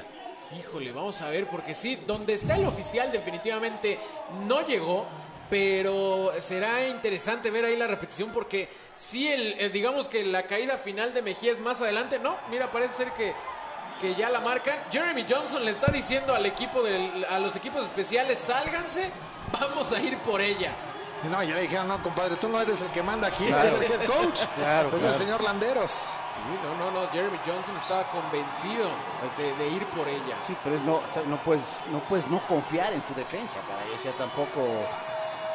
No, espero que es 25 puntos en esta segunda mitad, coach. Bueno, esta decisión es la que tomó el coach Cacho Strebel y que no les resultó a los fundidores. Acá el balón que queda con el regreso por parte de la ofensiva de los fundidores. Sigue todavía Robinson, ya voló un pañuelo, sigue peleando hasta la 47, aunque van a quedar por ahí de la yarda 30 si el castigo es en contra de fundidores. O sea, yo estoy de acuerdo que, que lo complicado va a ser la, en caso de que anoten la conversión de dos puntos. Ajá. Pero, pero tampoco te la puedes jugar a que no la hagas en esa, en esa última oportunidad y dejar la pelota ahí, caray. Híjole, es que por ejemplo, eh, yo, yo, yo. Sobre todo si estás ganando el juego. Yo creo que está muy temprano para pensar en jugártela. O sea, entiendo la confianza de Jeremy Johnson, pero nada te garantiza que a la siguiente serie vas a entregar el ovoide. Entonces, el factor riesgo por lo que vas a ganar todavía si estuvieras para que Hay ya se acabe el reloj, Ambas independientemente de la posición de terreno, ¿no? Una se aplica en bola muerta durante el regreso. Bloqueo ilegal por la espalda número Van 28. para atrás. Y hay una interferencia de la banca con contacto. Equipo visitante. Uf. Se aplican ambas. Primer down. Y esta interferencia con contacto es que la banca está dentro del terreno de juego y obstruye el paso, ya sea de uno de los oficiales o peor aún de los jugadores, ¿no? En el regreso. Se aplican los dos porque bien nos dijo el oficial Matos, uno es en bola muerta, así que prácticamente se quedó como en la misma yarda, si no es que inclusive más adelante favorable para los fundidores. 4 minutos 52 yardas, la situación está, no quiero decir perfecta, pero favorable, muy favorable. Sí, Sí, buena, está muy buena, cómoda buena posición de campo. y necesitan recordar touchdown y la conversión de dos puntos y pues bueno, ¿quién más? Ya estamos coronando al MVP del 2023, pero el MVP del 2022 puede decir algo Shelton y además esto se puede ir a tiempo extra, así que si van a pedir de cenar, mejor de una vez vayan ordenando. 33 a 25 está el marcador, 8 puntos abajo los fundidores. Entrega con McAllister. Cruza la 50, acelera a la 40. En una jugada grande para la ofensiva de los fundidores y la gente, los que se quedaron en el estadio están encendidos. Sí, de repente la gran jugada, ¿eh? corriendo la pelota. Sí. Que además de que les da el primero y 10, mucho más. Qué No, buenos bloqueos, caray. ¿En Todo qué mundo. momento llega la Sí. mejor jugada terrestre de los fundidores, coach? Sí, sí, sí. Gran trabajo. La línea ofensiva funcionando bastante bien por el equipo de fundidores. Tenía 8 carreos, 11 yardas nada más McAllister. Aquí con el balón Epler. Busca receptor. El pase cortito es completo. Y les da aire. Son 7 yardas en la jugada para la ofensiva de fundidores. Sí, buscando al receptor más cercano, ¿no? Eh, En, en- en su progresión buscó primero al hombre que estaba, estaba en la banda, vio que estaba cubierto y de inmediato va al hombre más cercano, que era el corredor. Ahí está. Segundo down y prácticamente 4 por avanzar acá para los fundidores. Hasta ve el colchón que le están dando. Sí. ¿Viste? Para fundidores tienen que Mira. apresurarse y guardar sus tiempos fuera porque si no consiguen la conversión necesitarán de un gol de campo. Acá entrega la pelota. McAllister consigue el primer y 10. Pero necesitan ponerle velocidad, si no el tiempo va a ser un factor. ¿eh? Y, y saben también por qué está funcionando ya el juego terrestre de los fundidores. La defensiva de Caudillos está muy cansada. Llevan prácticamente toda esta segunda mitad en el terreno de juego. Caudillos ha tenido una serie sostenida en esta segunda mitad. Todo lo demás se han tenido que aventar la defensiva de los Caudillos. Ya vemos a Máximo González, número uno, ya está cansado. Carrete, eh, o sea, están ya eh, cansados después de una segunda mitad en la que han estado mucho tiempo en el campo. Dirían por ahí en el norte que están fundidos. Y acá esperan los fundidores. Colapsa la bolsa y es detenido atrás.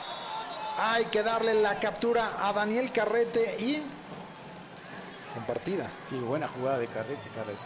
¿Sabes quién también llegó? Perdón, Gleason? ¿no? Gleason, exactamente. Primero el 91 también le genera Sí. esa primera presión. Ahí está.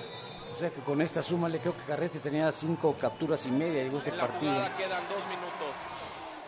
Esta captura se va a ir a medias y obviamente los dos minutos es un factor porque ahora estás en una situación largo yardaje, pero vamos a ir a una pausa. El desenlace está por venir aquí a través de la LFA. Vamos a la pausa y regresamos.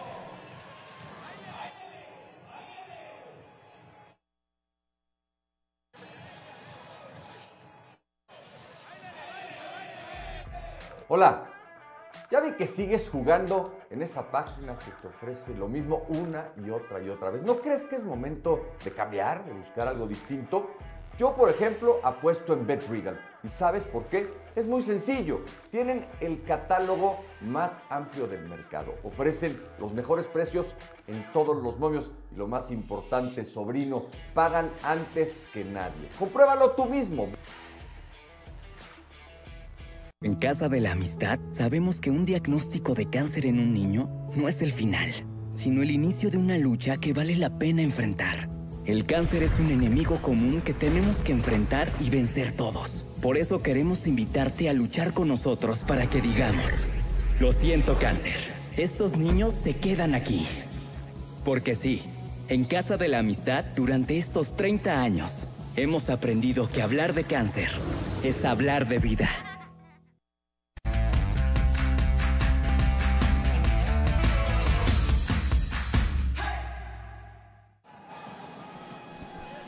De vuelta amigos en esta transmisión que les llevamos a través de la LFA.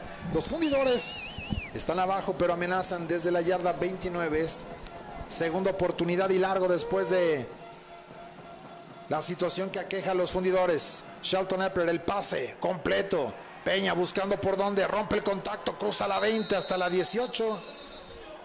Y se va a quedar a unas 7 yardas de mover las cadenas. Tercera oportunidad, la ventaja para fundidores. Pues esto les va a quitar un tiempo fuera Sí. aquí a los fundidores, ¿eh? No, el tema es que, es que sí le metieron un... No, independientemente, obviamente la salud del jugador es clave, pero muchas veces quedas lesionado y sales del terreno de juego aquí, ni cómo moverse, a pesar de la ganancia muy buena, por cierto, del trabajo del ala cerrada. Creo que es Crosby el número 5. ¡Pum! O sea, es un golpe limpio, pero lo va cazando y lo, lo impacta de manera eh, violenta. Crosby, el número 5, que tuvo ahí ese primer inicio. Eh, vamos a ir a una pausa rápidamente en lo que atienden al receptor de los fundidores. Ya volvemos.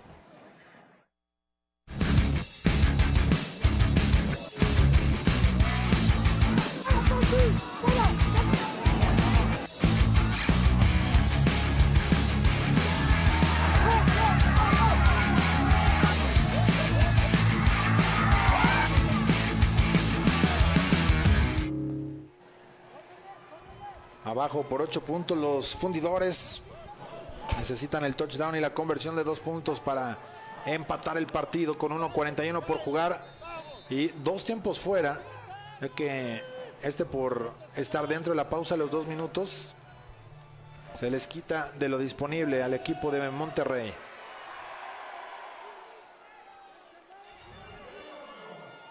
Tercer down, 7 por avanzar. Tres receptores a la izquierda. A lanzar el pase flotado. Él envía las diagonales. Es incompleto. Había pisado fuera el receptor. Así que si atrapaba el balón no iba a ser touchdown en caso de que de, Rica- de Richard se quedara con el ovoide, Joaquín. Sí.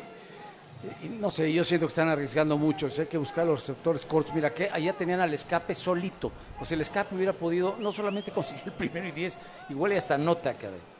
¿eh? Y ahora es cuarta oportunidad. Y aquí está el juego para los fundidores. Si concretan, siguen con vida. Si no, se acabó el partido. Porque todavía los, caudillos ya podrían linkarse y prácticamente agotarse el reloj. Aunque con los tiempos fuera, los dos que quedan, tendrían que conseguir un primer y diez. Epler. El pase es completo, sí señor.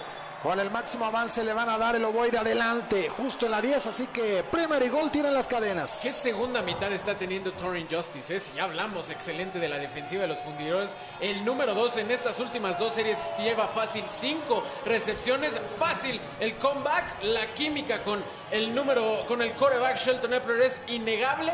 Primero y gol, siguen con vida y el empate sigue todavía en el aire para los fundidores. Ay, lo han buscado en 15 ocasiones en el partido. O sea, lo más importante es la, la- la cabeza de, de Justin, ¿no? Es saber exactamente Sí. dónde está la cadena y ahí hacer el corte. Richard en movimiento, tienen gemelos a la derecha. Epler entrega el balón, van por tierra con McAllister, consigue una yarda, tal vez dos. El reloj es factor, no, pero aquí ya no hay otra opción más que concretar la conversión. O sea, pues necesitas el touchdown y ya te olvidas de cualquier otro panorama de patear corto, etcétera, ¿no?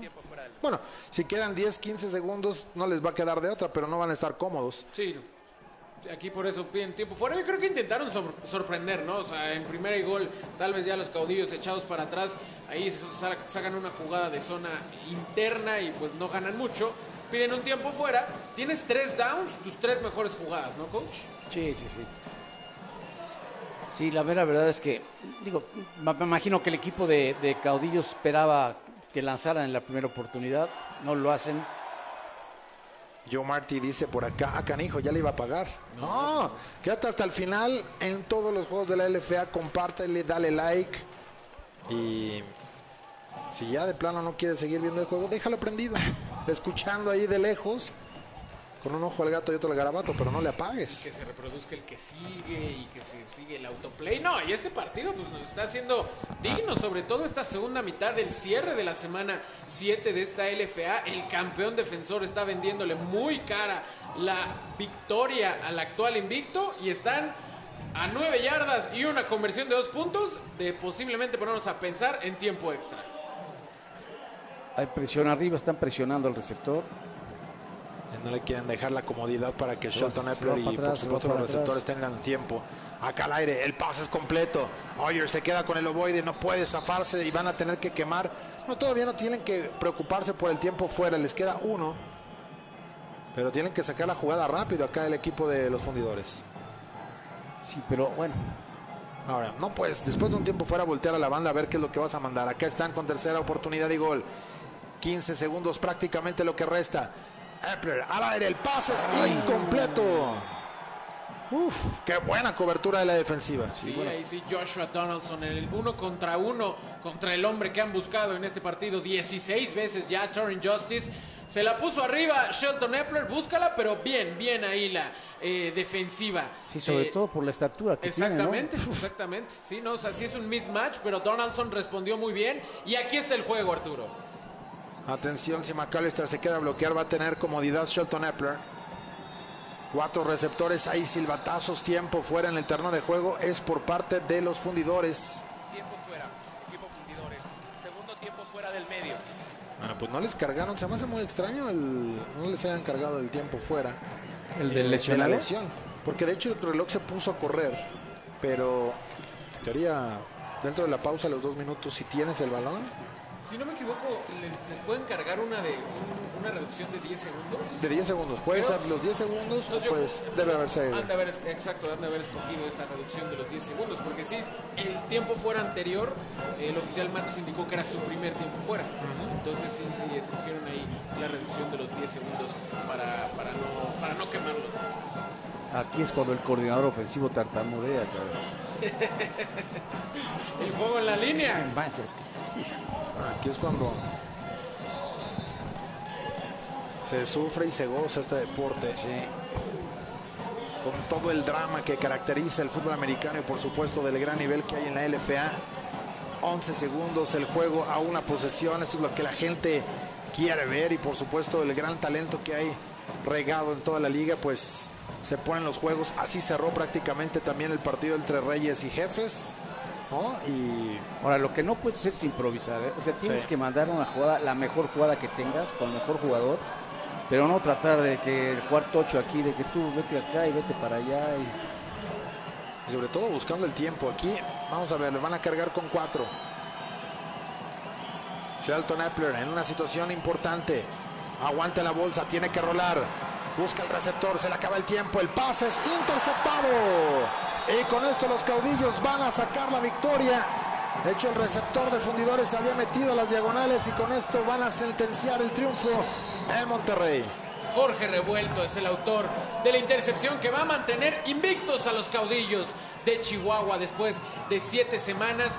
Bien la defensiva de los caudillos porque si se fijaron todos los defensivos estaban alineados en las diagonales, o sea, ni siquiera dejando ver si era cobertura personal o zona, pero además todos enfrente del end zone, todos diciendo nadie nos va a pasar por atrás y si nos van a pasar por atrás estamos listos. Siete hombres en cobertura de pase, nada más presionaron con cuatro, por eso fue suficiente para que Shelton Epler tuviera que rolar y ahí es justamente entonces donde se descompone la jugada. Sí, y justo el envío se anticipa muy bien sobre Tommy Auger, que alguien de fundidores ya había pisado también fuera del terreno. Pero además el éxito que tiene también la jugada defensiva es que el que presiona es el tackle del lado izquierdo con relación a la defensiva y esto obliga a Epler a salir hacia el lado contrario, hacia el que él pasa, que hubiera sido mucho más fácil la opción de poder correr o pasar. Bueno, pues aquí eh, formación victoria con Jeremy Johnson. Hicieron en formación escopeta, ¿eh? ni siquiera debajo del centro. Y con esto están finiquitando el partido. Victoria para los caudillos que se mantienen invictos. 7-0 es el récord en este 2023 para el equipo debutante en la LFA, los caudillos de Chihuahua, pegándole al campeón. Y con esto van a caer a una foja de tres victorias y cuatro descalabros. El equipo de Monterrey, tres derrotas de manera consecutiva para los fundidores. Y así es como está terminando esta historia. Gran partido sin duda el que disfrutamos y el conjunto de fundidores cubrió con los 10 puntos que les daban en los momios. Vamos a una pausa, regresamos con los comentarios final- finales y el resumen de este partido 33 a 25. Los saluda Salvador Minuti, safety del equipo Reyes de Jalisco. Les recomiendo la póliza de Medimex porque es la primer póliza de gastos médicos con cero deducible. Porque yo ya me protejo con Medimex. Protégete.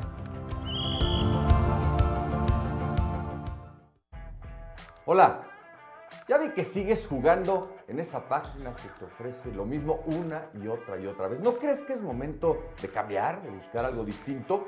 Yo, por ejemplo, apuesto en BetRegal. ¿Y sabes por qué? Es muy sencillo. Tienen el catálogo más amplio del mercado. Ofrecen los mejores precios en todos los momios. Y lo más importante, sobrino, pagan antes que nadie. Compruébalo tú mismo.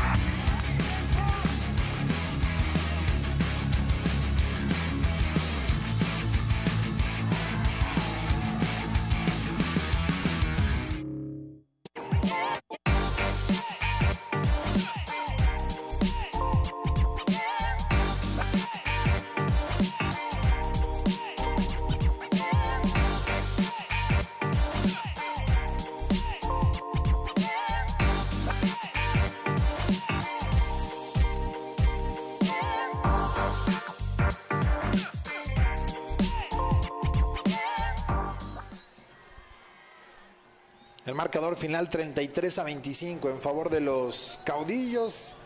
Recuperaron espacio los fundidores que perdían 21 a 0 este partido. Sin embargo, no les alcanzó después de un gran, gran trabajo en la segunda mitad que pusieron en serios aprietos a los caudillos. Pero vamos a repasar las acciones de lo que sucedió en este partido entre fundidores y caudillos.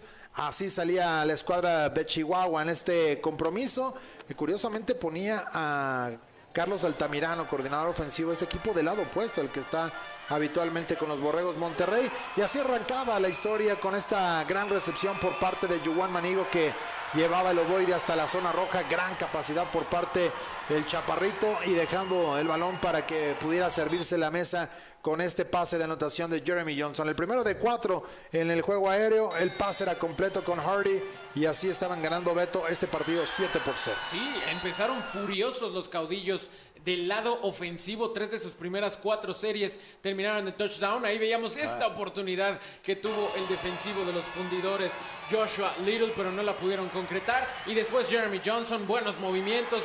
Ahí la recepción, buen golpe y ahí terminó siendo una expulsión en, eh, expulsión en contra de los fundidores. El segundo de anotación, Emmanuel Harris en cuarta oportunidad desde la yarda 5, 14 a 0 lo ponían 2 de 2 en ese momento para los caudillos. Sí, y parecía que iba a ser un día tranquilo para la escuadra de Chihuahua porque la ofensiva por parte de los fundidores había tenido problemas. Shelton Epler estaba ahí sufriendo contra Dyer que tuvo cuatro capturas en el partido y después aparecería este envío o el intento justo ahí con eh, su receptor. Pero Calzoncit no podía llegar muy lejos, problemas en el centro y Lupillo que ponía este balón por fuera de los postes se iban con las manos vacías en lo que era prácticamente el cierre de la primera mitad. Sin embargo, le quedaba un minuto y eso lo iba a aprovechar Jeremy Johnson con esta carrera para poner el ovoide adelante en territorio enemigo y más adelante iba a sellar las cosas volteando los hombros, poniendo el pase en el centro y ahí estaba la segunda anotación para Emmanuel Harris de touchdown en lo que iba a ser el partido 21 a 0 al medio tiempo, al descanso se iban así. Sí, en esos momentos todo parecía que los caudillos estaban dominando, pero una excelente primera serie ofensiva de los fundidores terminó con este pase de touchdown de Shelton Epler a Tommy Howard y se, volde- se voltearon los roles por completo en esta situación, sobre todo en el tercer cuarto fundidores. En esa serie convirtió cuatro primeros y dieces y terminó en ese pase de touchdown. Nuevamente Shelton Epler ahí haciéndola por su propio pie, manteniéndolo nuevamente vivo con Howard. Ahí fue una jugada clave para mover las cadenas. Los fundidores caían 27 a 10 en ese momento después de dos series de puntos, una de touchdown y una de gol de campo, pero el hombre más importante de los caudillos y el favorito a MVP en 2023, Sonic Juan Maniguo, regreso de kickoff de 105 yardas y además atravesando todo el ancho del campo, nadie lo iba a alcanzar en esa última en esas últimas 70 yardas, el factor Manigo, factor MVP, subiendo los 27 a 17. Sí, no esperaba a nadie en esa devolución, mi amigo Manigo. Y después Shelton Epler decía, no se preocupen, el pase que ponía en las diagonales, que quedaba completamente solo Tommy Auger, iba a tener más de 100 yardas en el juego aéreo, el receptor. Y ahí estaban los fundidores metidos en el partido para tratar de responder en los últimos instantes de este compromiso. Era el último cuarto, pero vendría Jeremy Johnson con la respuesta. Este pase profundo para quien más, sí, mi amigo Manigo, touchdown. Y Sonic ponía seis puntos más a la cuenta, fallaban el extra y le abría la oportunidad a la escuadra de los fundidores, que con este touchdown se iban a colocar eh, muy cerca en el marcador a una posesión, el pase por el centro y la llevaba Richarte para conseguir la anotación. Necesitaban la conversión de dos puntos que iba a ser efectiva, saliendo en formación y el pase flotadito convertían para poner el juego 33 a 25 y tendrían todavía una oportunidad más los fundidores, se quedarían ahí prácticamente metidos en la zona roja con este pase en cuarta oportunidad que iba a ser interceptado y de esta manera Jorge Revuelto definitivamente ponía los cartones ya 33 a 25. Joaquín, un gran partido el que tuvimos un gran oportunidad de partido. apreciar. Y ahorita que veo la repetición de la jugada, siempre que hubiera querido correr, Ajá. posiblemente hubiera podido conseguir la, la- la anotación. Pero bueno, mira, vimos una, una- un, gran, una- eh, un gran juego de dos quarterbacks muy buenos. No hubo intercepciones en el partido, pero creo que la jugada más importante fue el regreso de patada. Ahí se decidió, para mi gusto, el, el juego. Y cuando tienes dos jugadores del calibre de, de Johnson y de Manigo, lógicamente tienes que jugar un fútbol perfecto, caray. De acuerdo, así que llegando al final de esta transmisión, Beto, un gran juego 33 a 25 en favor de Caudillos. Sí, un gran juego y como dices Coach Castillo, al final de cuentas si Juan Manugo no regresa a ese kickoff, pues bueno, aquí los fundidores pudieron haber pensado en patear un gol de campo para sacar la victoria. Gran nivel que vimos en este domingo por la tarde, ya es domingo por la noche, tanto en Monterrey como en el resto del país. Los caudillos se mantienen invictos, pero los fundidores creo que mostraron mucho corazón para defender su casa en este el primer partido de Jorge el Pelón Valdés como el HC en, eh, en casa. De acuerdo, así que gracias al nombre de todo el equipo de producción, de Beto García Ramos, de Joaquín Castillo, un servidor Arturo Carlos, se despiden de ustedes. Muchas gracias por acompañarnos en la LFA, gracias, hasta la próxima.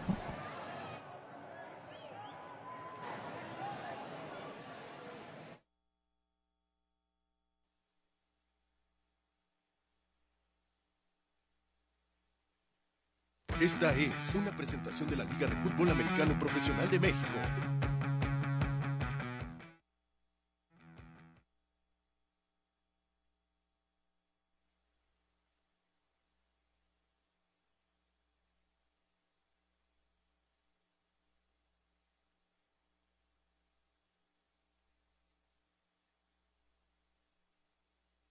Esta es una presentación de la Liga de Fútbol Americano Profesional de México.